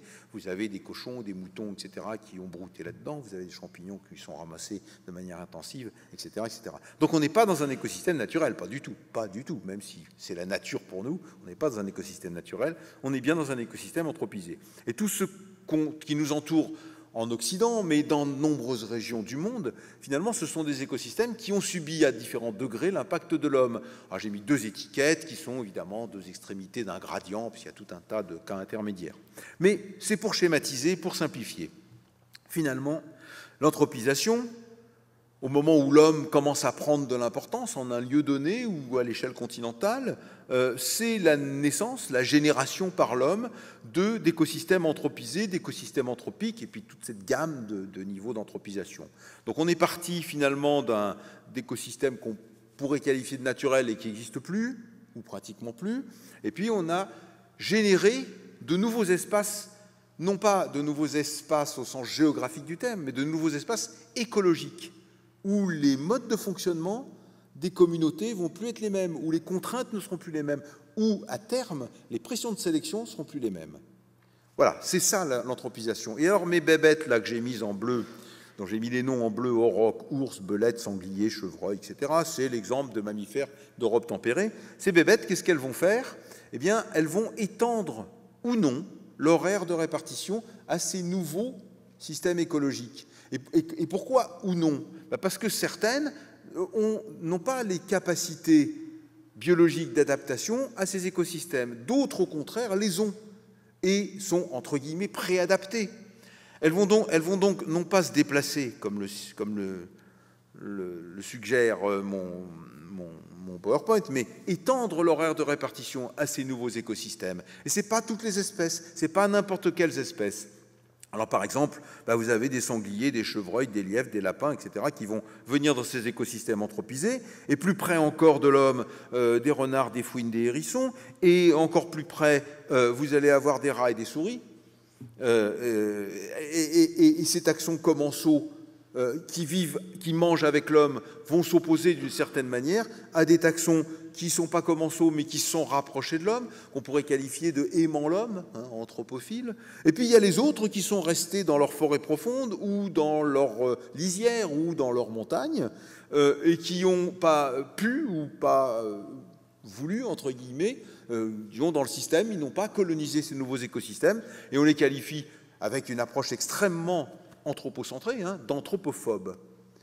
Donc on a finalement recréé une catégorisation écologique qui n'est plus celle de l'écosystème euh, de forêt, de lisière, etc., hein, qui est ce que l'écologie a construit au cours du XXe siècle. On surimpose, on, démolit rien, hein, ça existe, ça bien sûr, mais on surimpose un nouvel ordre écologique qui est anthropocentré. Alors vous me direz, c'est extrêmement anthropocentrique tout ça. Mais oui, mais pleinement, mais d'accord, mais bien sûr. J'assume pleinement le point de vue anthropocentrique. C'est ce dont on est en train de parler. Hein. Ce n'est pas pour autant que je considère que l'homme a une supériorité euh, par rapport au reste de l'univers. Ce n'est pas du tout ça le sujet. Mais le sujet, c'est d'étudier comment il a provoqué tout ça. Donc il faut bien regarder l'homme, il faut bien regarder ce qui est autour de lui et les différents cercles d'influence qu'il a étendus. Finalement, cette, euh, cette anthropisation, elle se traduit non seulement par l'ouverture de ces nouveaux milieux, mais elle se traduit aussi par une redistribution en fonction des capacités biologiques écologiques des plantes et des animaux, une redistribution dans un nouvel espace écologique qui, cette fois, est anthropocentré. Et alors me direz-vous, oui, c'est bien gentil, mais euh, les animaux domestiques, vous les mettez où? Mais je les mets dans le même truc, je les mets dans le, dans le même système. Et justement, ça nous apporte quelque chose d'intéressant. Ça nous montre qu'il y a un gradient entre ceux qui vont s'approcher de plus en plus, et puis ceux qui vont rentrer dans les villages, et puis ceux comme le chat qui vont rentrer, et puis qui vont lier avec l'homme. Hein parce que d'une certaine manière, c'est un peu le chat qui a décidé de rentrer le village, ce n'est pas les gens qui sont allés chercher. Donc il y a des interactions écologiques. Il faut regarder ce phénomène de domestication comme un phénomène d'interaction écologique au départ. J'ai parlé tout à l'heure, j'ai lâché le mot de communauté hybride, hein, où le chien apprend, enfin le loup apprend à parler un langage que l'homme comprend, un langage d'alerte, etc., qui n'est pas celui du loup. Mais oui, bien sûr, mais ça, on le connaît, on l'étudie de plus en plus euh, ce phénomène de, communauté hybride entre différents oiseaux, entre des différents mammifères, entre des oiseaux et des mammifères, etc. On commence à comprendre que cette barrière des espèces n'est pas une barrière étanche, qu'au contraire, les espèces, elles jouent ensemble. Euh, elles n'ont pas en tête le sentiment qu'il euh, faut séparer les espèces les unes des autres. Elles jouent ensemble, elles travaillent ensemble, et d'une certaine manière, c'est ça la domestication. C'est une forme particulière de cette hybridation de comportements humains et de comportements animaux, euh, de changement de milieu, parce que les ancêtres des animaux sauvages, vous les avez ici, le roc, le mouflon, la chèvre sauvage, le cheval sauvage, le sanglier, bien ces ancêtres, finalement, on va les transporter dans un univers anthropisé où ils vont subir des pressions de sélection qui seront plus du tout les mêmes. Alors ça sera des écosystèmes anthropisés, ça sera des écosystèmes anthropiques, ça sera le coin du feu pour le chat, etc., euh, etc. Donc des pressions de sélection qui sont évidemment plus du tout les mêmes. Et finalement, la domestication, elle se comprend comme un cas particulier de cette anthropisation des communautés animales, un cas particulier dans lequel il y a quand même quelque chose d'important, à mon sens. Je dois honnêtement dire que c'est débattu par certains de mes collègues, mais à mon sens, il y a un renforcement euh, intentionnel de l'homme. C'est-à-dire qu'il y a un moment où la société, alors intentionnel c'est toujours un peu il y a un moment où la société, par son comportement, c'est pas forcément intentionnel, calculé et voulu, mais par son comportement, renforce la relation et on passe insensiblement d'un domaine de relations écologiques à un domaine de relations anthropologiques. Et là, l'animal rentre dans ce, dans ce cercle de, des sociétés. Mais euh, il peut en sortir aussi et de retourner à l'état sauvage. Dernier point pour conclure, euh, en revenant à notre échelle de temps long, ce qui me frappe en étudiant euh, ces phénomènes euh, en Méditerranée, je vous ai parlé beaucoup de la Méditerranée parce que c'est là que j'ai commencé ma carrière. Euh, je travaille beaucoup à Chypre, mais j'ai travaillé aussi grâce à certains collègues qui m'y ont emmené sur le plateau iranien, puis en Asie centrale. J'ai travaillé en Chine. J'ai eu des étudiants qui ont, oui, j'ai eu des étudiants qui travaillent encore aux Antilles. Je me suis intéressé à l'Amérique centrale, et c'est intéressant de comparer, de voir cette diversité. Et puis, ce qui frappe surtout, c'est la diversité chronologique. C'est-à-dire que dans cette euh, chronologie figée de l'évolution climatique, eh bien, on a une chronologie de, des transitions anthropiques qui n'est pas du tout figée. Selon l'endroit où on va, le néolithique, il est là, Proche-Orient ou Chine, euh, ou bien euh, il est là, ou il est quelque part entre les deux. Donc on n'a on pas de cohérence immédiate entre le changement climatique. Alors, on a longtemps cru, vous le trouverez encore dans, beaucoup de manuels, et vous l'avez peut-être entendu, vous l'avez peut-être appris même, que le changement climatique était à l'origine de la néotisation. C'est sûr qu'il a joué un rôle, hein, on ne peut pas dire le contraire, mais euh, c'est pas ça, c'est pas que ça, c'est beaucoup plus compliqué. Il y a des dynamiques anthropologiques, des dynamiques, ne serait-ce que démographiques, qui sont venues se surimposer et qui ont complètement perturbé ce contexte bien réglé qu'on connaissait sur la planète depuis 4 milliards d'années. Hein, C'est-à-dire qu'il y a des forçages astronomiques qui font qu'il y a des climats qui changent ici et ça, et puis la biosphère, elle évolue en fonction. Ben là, elle évolue plus en fonction.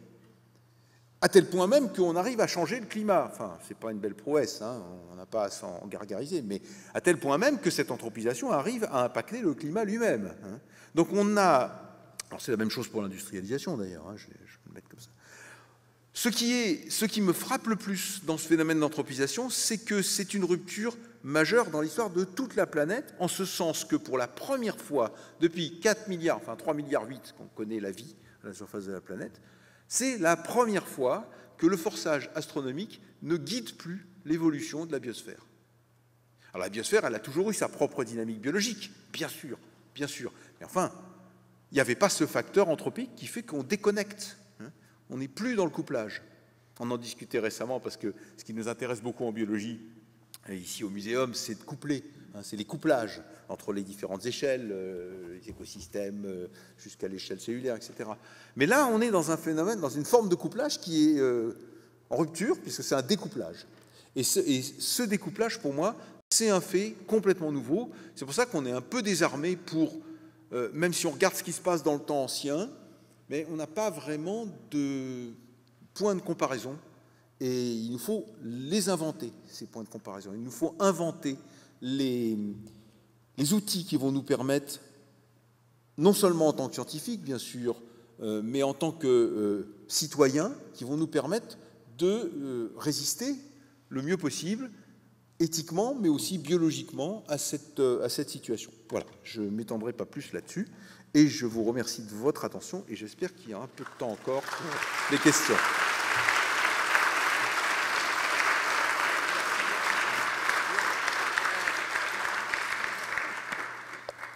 Bonsoir. Euh, J'aurais aimé savoir, on a vu avec les animaux, on peut trouver, retrouver une histoire de la domestication, on arrive à voir les changements peut-être morphologiques, on arrive à trouver des invasions biologiques. Est-ce que on peut faire la même chose avec les, espèces végétales? Oui, absolument.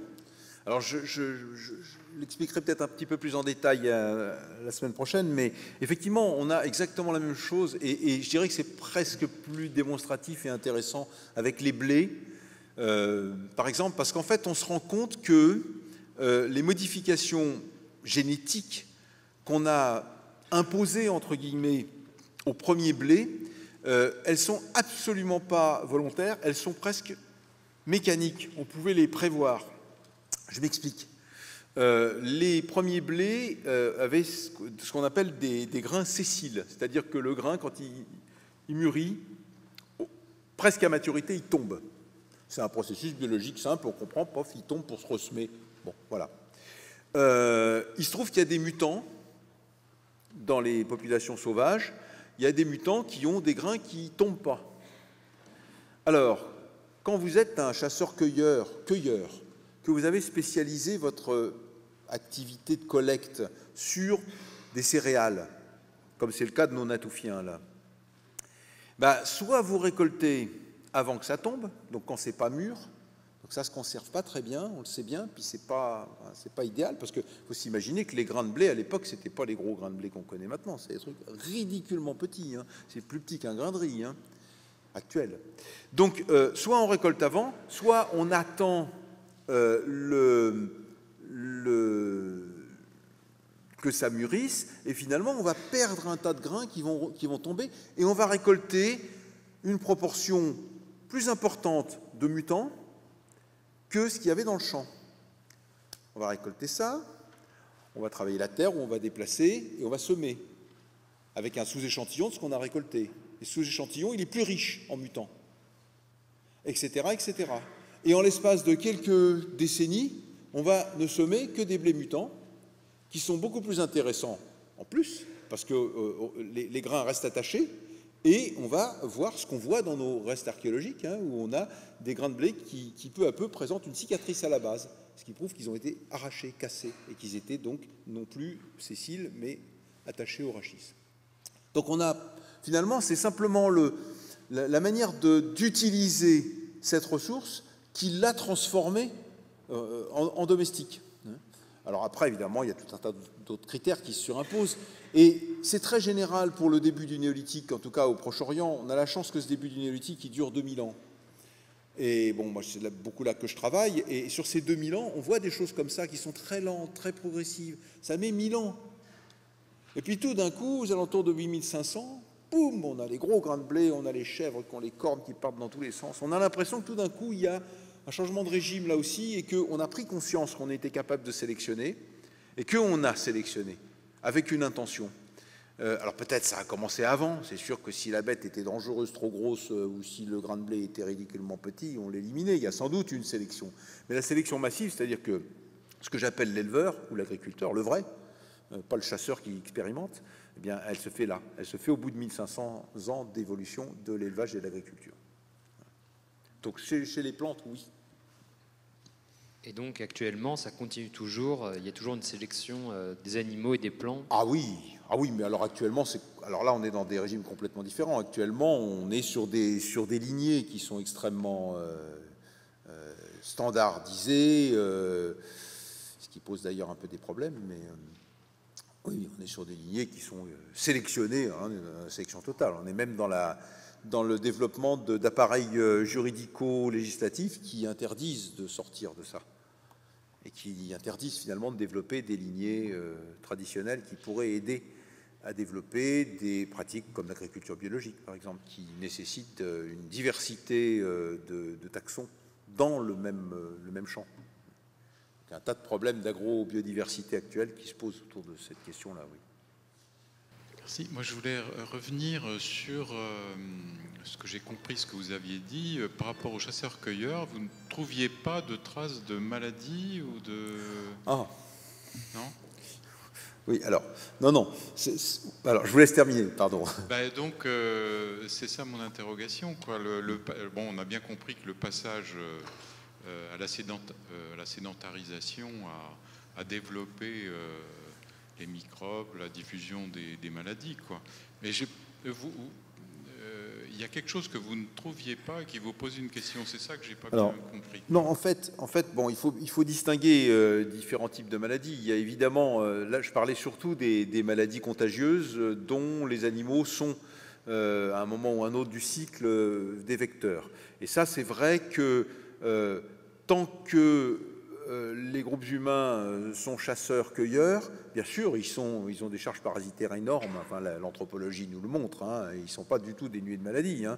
Ils ont des charges parasitaires, ils sont malades, ils ont des espérances de vie qui sont très courtes, etc. Ok. Mais euh, ces épidémies massives qu'on a constatées dans des exemples récents historiques, c'est quelque chose qui est vraiment lié à, d'une part, la densification démographique humaine, hein, bien sûr. D'autre part, la proximité entre les animaux et l'homme. C'est évidemment très différent de manger des bêtes, même si elles sont parasitées, euh, qu'on a tuées à la chasse, et de vivre au contact des animaux en permanence, euh, de, tout, au long de son, âge, on peut dire. Hein. Euh, ça, c'est des différences. Mais alors, parler des maladies en général, c'est un autre sujet qui est plus compliqué, mais qui est intéressant aussi parce qu'il y a des maladies qui sont liées au néolithique. C'est ce que je viens de dire, d'une certaine manière. On peut imaginer, c'est pas démontré, mais on peut imaginer que les épidémies, euh, les, zoonoses, etc., se sont développées considérablement avec le néolithique pour ces raisons. C'est une hypothèse à tester. Mais on sait aussi qu'il y a un certain nombre de maladies liées à l'alimentation qui ont pu se développer. on a beaucoup mis en avant euh, l'effet néfaste de consommation du lait. Là-dessus, il faut se calmer. Hein. Le lait, c'est probablement le premier produit qui a été consommé chez les animaux, les ongulés domestiques, les ruminants domestiques. On peut même se demander si dans certaines situations, ce n'est pas la raison pour laquelle on a domestiqué des ruminants. Sans doute pas la seule, mais ça a pu jouer. En tout cas, maintenant, depuis, on a fait deux très gros programmes, un programme européen et puis un programme ERC qui se termine à la fin de cette semaine d'ailleurs, où on a vraiment montré que la consommation du lait, elle était massive dès le début du néolithique, pas dans toutes les régions, etc., etc. Bon, donc le lait, je veux dire, euh, l'homme n'est pas adapté à la consommation du lait, mais ça fait, ça fait 11 000 ans qu'il est adapté. Comment il s'est adapté? Bah, Dans certaines régions, il s'est adapté biologiquement en développant un gène qui lui permet de conserver à l'âge adulte l'enzyme qui digère le lactose. Et dans d'autres régions où il ne conserve pas ce gène, dans la salle ici, il y a sans doute les deux, les deux types d'humains, mais dans des régions où majoritairement il ne conserve pas ce gène, bah, il a développé des techniques qui sont aussi efficace, même peut-être plus, c'est de faire des fromages ou des yaourts hein, dans lesquels on va, euh, par l'activité de bactéries, casser le fameux lactose, hein, le sucre euh, diose qu'on a du mal à digérer quand on a plus cette enzyme. On le casse avant de l'ingérer, comme ça il n'y a pas de problème. Après, on peut manger du fromage en tant qu'on veut. En plus, ça permet de conserver les produits laitiers pendant longtemps. Donc, euh, je dirais que c'est un faux problème hein, dont, s'est emparé évidemment toute une philosophie de l'alimentation saine, etc. Euh, euh, qui, est très respectable, hein, mais c'est pas le sujet. Pour moi, le sujet, c'est à partir de quand l'homme a-t-il commencé à consommer du lait? Maintenant, on le sait, on est passé en l'espace de 7 ans de 4000 avant Jésus-Christ à 10 000, Ah, ça, on a bien bossé, maintenant on le sait. Euh, deuxièmement, qu'est-ce qu'il a fait euh, pour pouvoir le consommer alors qu'il n'avait pas les moyens de le faire? Ben, Il a fait des fromages. On a trouvé les premières traces de fromage, de fabrication de fromage, euh, il y a 4 ans, 5 ans. Et puis on commence à en trouver partout, etc. Donc c'est un problème réglé. L'homme sait consommer le lait, soit en le transformant, soit en le digérant, mais il trouve la solution de le consommer. Alors qu'il y ait des allergies au lait ce n'est pas, des, pas des difficultés à digérer le lait, les allergies, c'est autre chose. Le lait, c'est un produit très complexe qui peut développer un tas de réactions de l'organisme. Il hein. ne faut pas mélanger tout. Mais l'incapacité, entre guillemets, à digérer le lactose, hein, qui est liée effectivement à cette enzyme unique, eh bien, cette incapacité, elle est bien identifiée. On sait qu'il l'a, qu'il ne l'a pas, et on sait comment passer outre. Après, si vous avez des allergies au lait, ça, je, vous laisse, je laisse votre médecin s'en occuper. Mais euh, ça n'est plus mon sujet, là.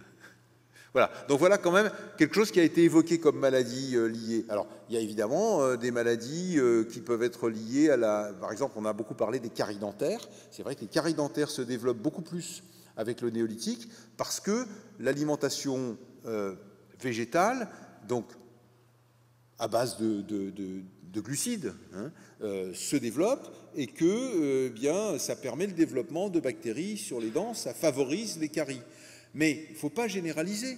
Bon, moi je travaille beaucoup à Chypre. À Chypre, j'ai une collègue anthropologue qui étudiait le début du néolithique, le changement alimentaire sur euh, des centaines de squelettes d'humains euh, et de, dents.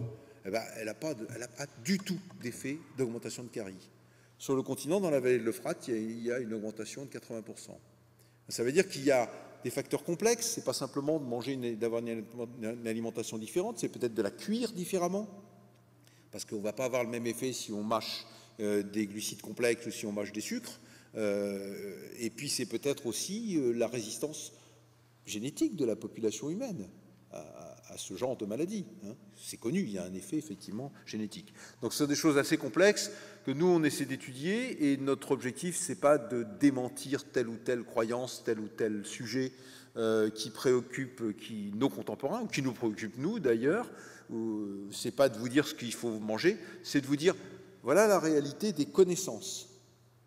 Euh, maintenant, vous construisez, si vous voulez avoir un régime préhistorique qui n'a rien à voir avec le régime de la préhistoire, pourquoi pas? Moi, ça me gêne absolument pas, personnellement. Mais dites pas que c'est un régime préhistorique quand même, parce que c'est pas ça le régime préhistorique, ou les régimes préhistoriques.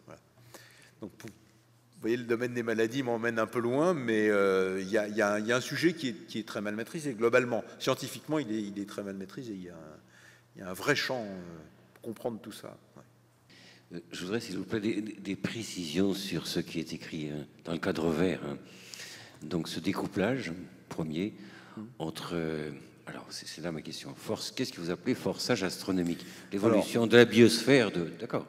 Forçage astronomique, je dirais. Forçage astronomique, c'est quoi, s'il vous plaît euh, Alors, forçage astronomique, bah, c'est les, tous les facteurs qui font que le climat. Euh, a, changé massivement au cours de ces 4 milliards d'années. Euh, j'inclus évidemment l'évolution de la planète Terre elle-même en tant que géosphère, hein, bien entendu.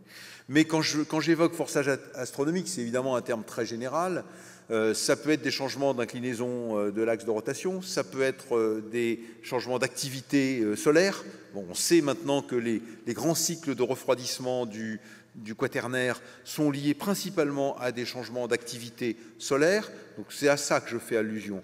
Et de manière très schématique, bien sûr, ces changements astronomiques, ils ont des effets quasi immédiats sur la biosphère à toutes les échelles. Et ils, guident l'évolution biologique euh, à toutes les échelles.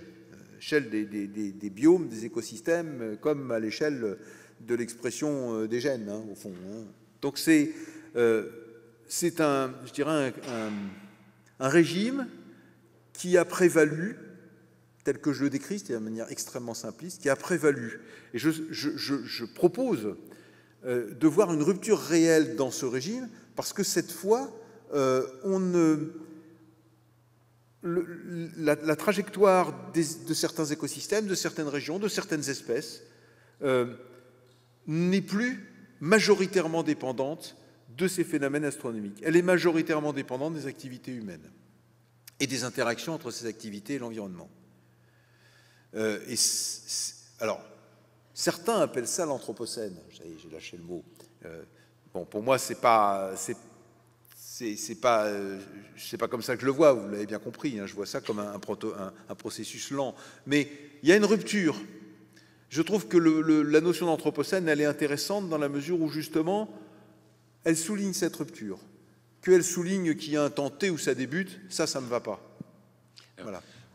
le mot astronomique, ok, ça, Mais le mot forçage devant, euh, ça me fait quelque chose. Le forçage, alors c'est. Euh, euh, c'est des contraintes. C'est un anglicisme déjà. Hein, oui, c'est des contraintes. oui, c'est une contrainte, oui. Oui, bien sûr, mais forçage. Euh, pourquoi, ça vous, pourquoi ça vous met mal à l'aise? Je me demande s'il y avait derrière, mais c'est plus clair, hein, merci.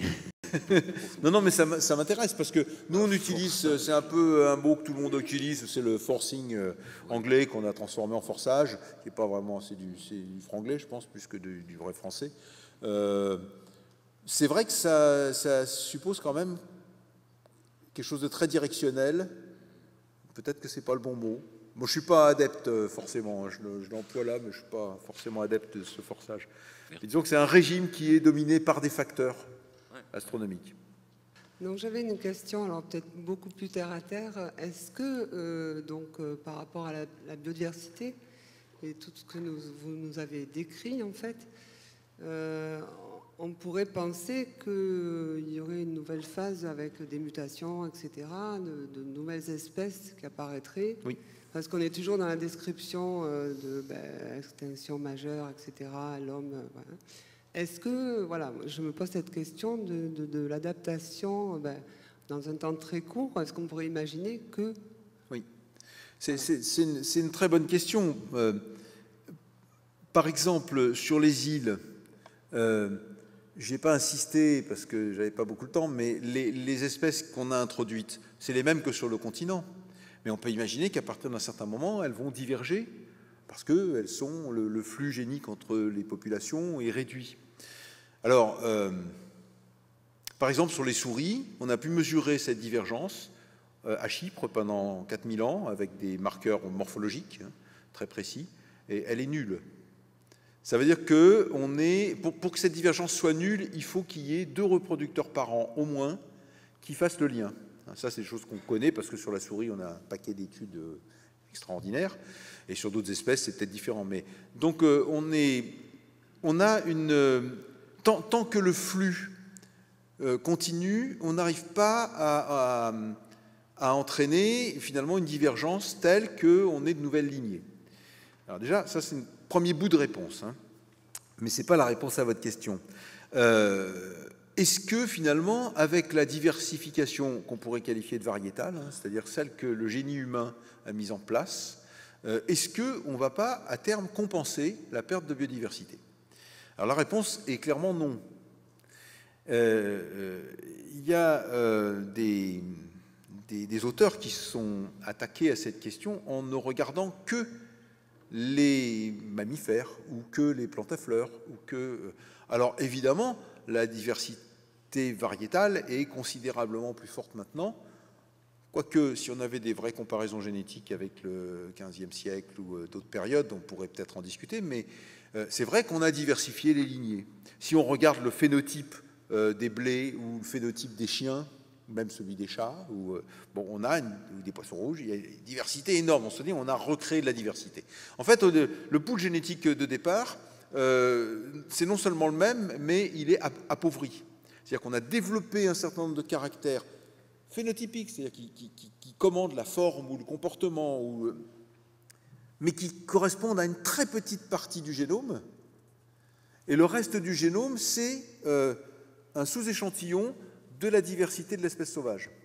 Donc on a perdu en diversité génétique au moment de la domestication.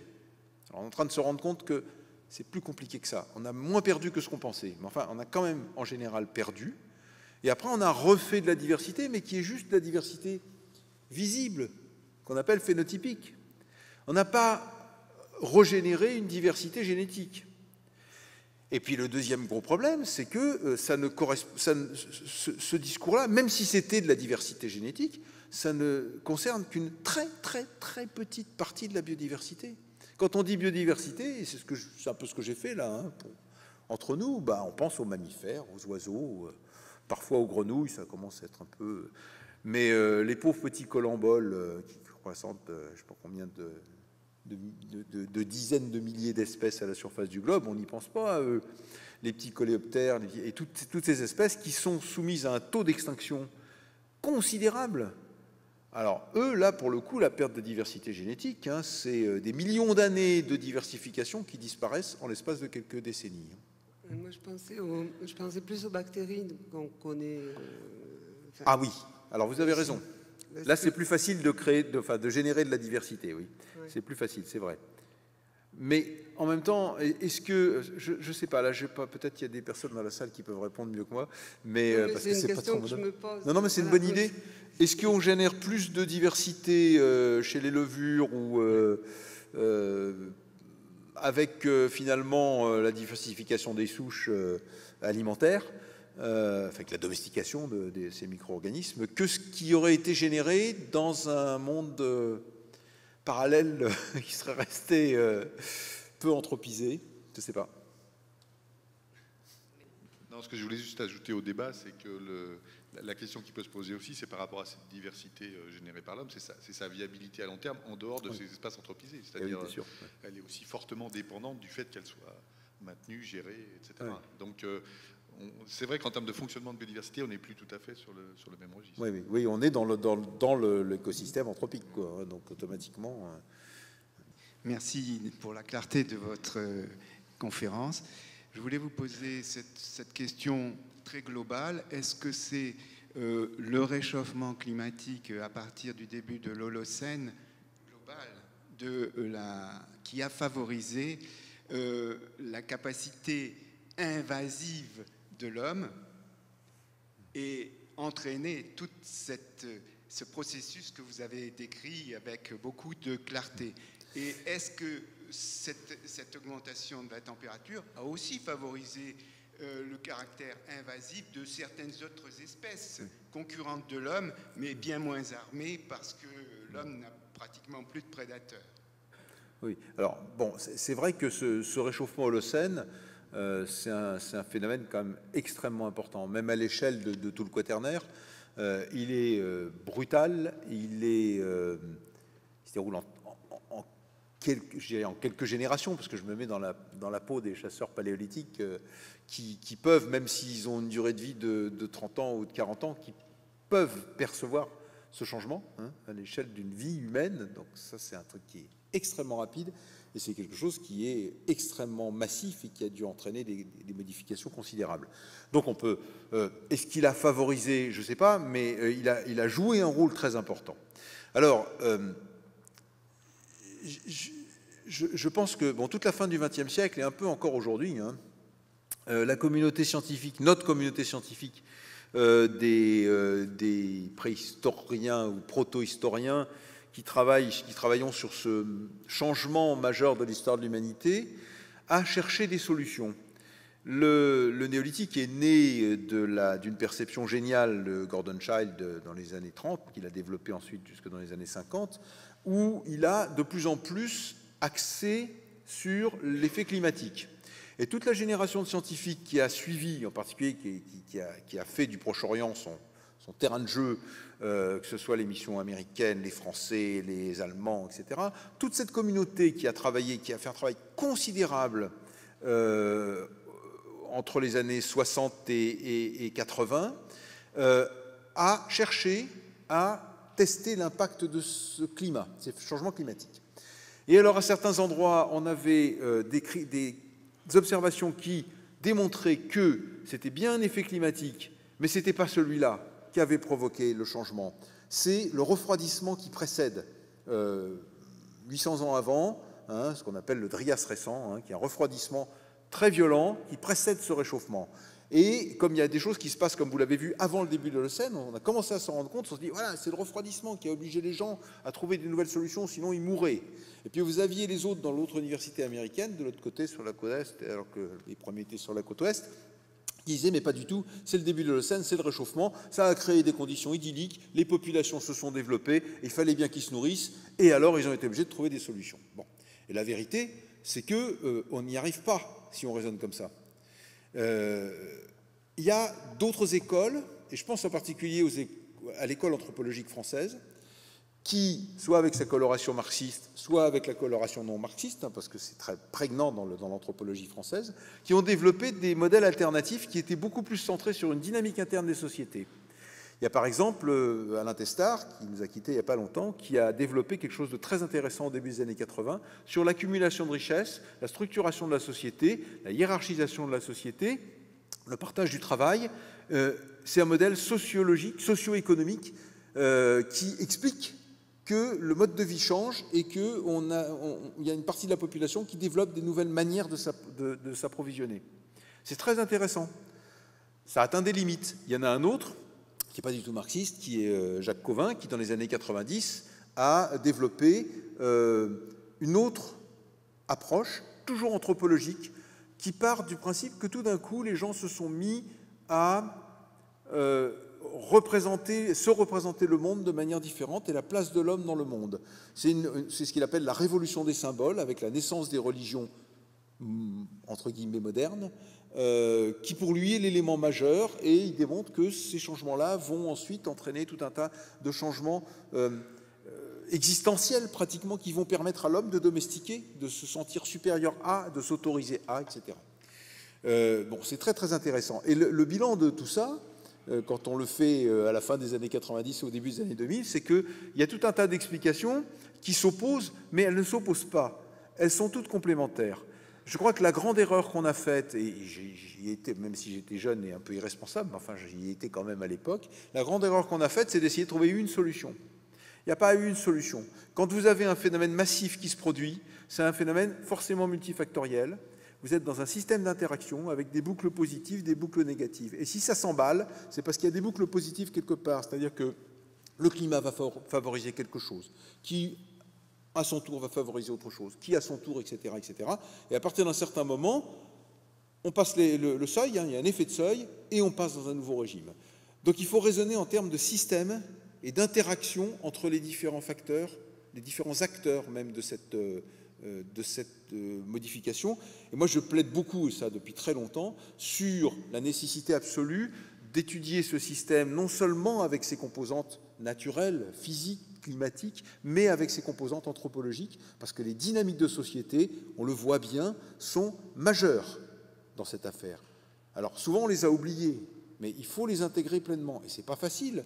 Modéliser ça, ça va mettre du temps. Hein. Je ne sais pas si on va y arriver. Il faudrait modéliser nos comportements. Euh, d'abord, ça me pose un petit problème éthique, et puis en même temps, d'un point de vue anthropologique, ça paraît difficile. On peut décrire un certain nombre de scénarios, on peut comprendre des trajectoires, c'est ce qu'on essaie de faire, nous. On peut les utiliser à titre d'exemple, euh, c'est ce qu'on offre à, la communauté des gens qui travaillent sur les périodes actuelles. Mais euh, modéliser tout ça et dire ça, marche comme ça, et quand on appuie sur tel bouton, ça fait ça, on n'y est pas. Hein. J'ai envie de vous, demander, que, dites-vous de, de l'augmentation de la teneur en dioxyde de carbone et plus généralement gaz à effet de serre euh, dans l'atmosphère, non pas euh, qui, qui a décollé au siècle dernier, quoi. Mmh. c'est dans ce sujet quand même. ah oui, oui. Si oui, bah, oui. Comment le situez-vous? Alors, bah, moi, je, je, pense. Tout ça. Ouais, ouais, alors, là, je sors un peu de mon domaine de compétences, hein, mais je pense qu'on est. Euh, on est quand même passé dans, un, dans quelque chose de différent hein, depuis, depuis je sais pas quand depuis je ne sais pas quand.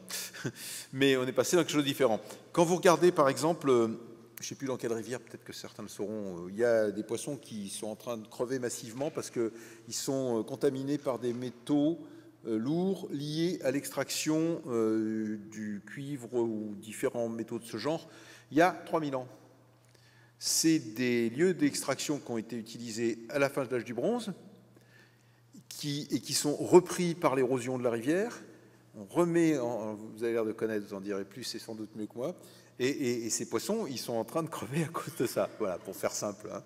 Donc euh, on est là, euh, avec l'industrialisation, déjà dans une saute réels dont on a encore des effets aujourd'hui. et, puis, et puis bon, il y a tout un tas d'articles et de bouquins là-dessus, en particulier ceux qui parlent dans la revue Anthropocène, hein, où on aligne 35 marqueurs, où on voit que ça décolle toujours au même moment, en gros 1945, on dit là, il s'est passé un truc majeur. Moi, j'en aligne 35 autres où on ne voit pas la même chose, et on ne voit pas la même date. Hein. Mais euh, c'est pour ça qu'il faut vraiment... Moi, je crois qu'on a, on a beaucoup à gagner. quand je dis on, c'est pas seulement en tant que scientifique, je le dis, mais en tant que citoyen, en tant que société. On a beaucoup à gagner euh, à pas se mettre cette rupture, dire voilà, ça a commencé là, à se dire ça a commencé il y a longtemps. Regardons D'abord parce qu'on a besoin de cette conscience historique pour se resituer en tant qu'individu dans un processus qui nous dépasse, mais aussi parce que les expériences qu'on peut glaner dans des périodes plus anciennes, qui peuvent être simplement la comparaison des, chats des Kerguelen entre la fin du 19e et le milieu du 20e, hein. mais ces expériences historiques, quel que soit leur pas de temps, sont pour nous une chance, parce qu'elles nous permettent de recaler nos modèles. Euh, elles vont nous permettre, j'espère, de mieux appréhender la complexité des systèmes. Je ne dis pas que ça va résoudre le problème, hein. ce n'est pas nous les scientifiques qui allons le résoudre, c'est évident, mais voilà où, où, on peut intervenir. Bien, merci beaucoup Monsieur Vigne. Merci.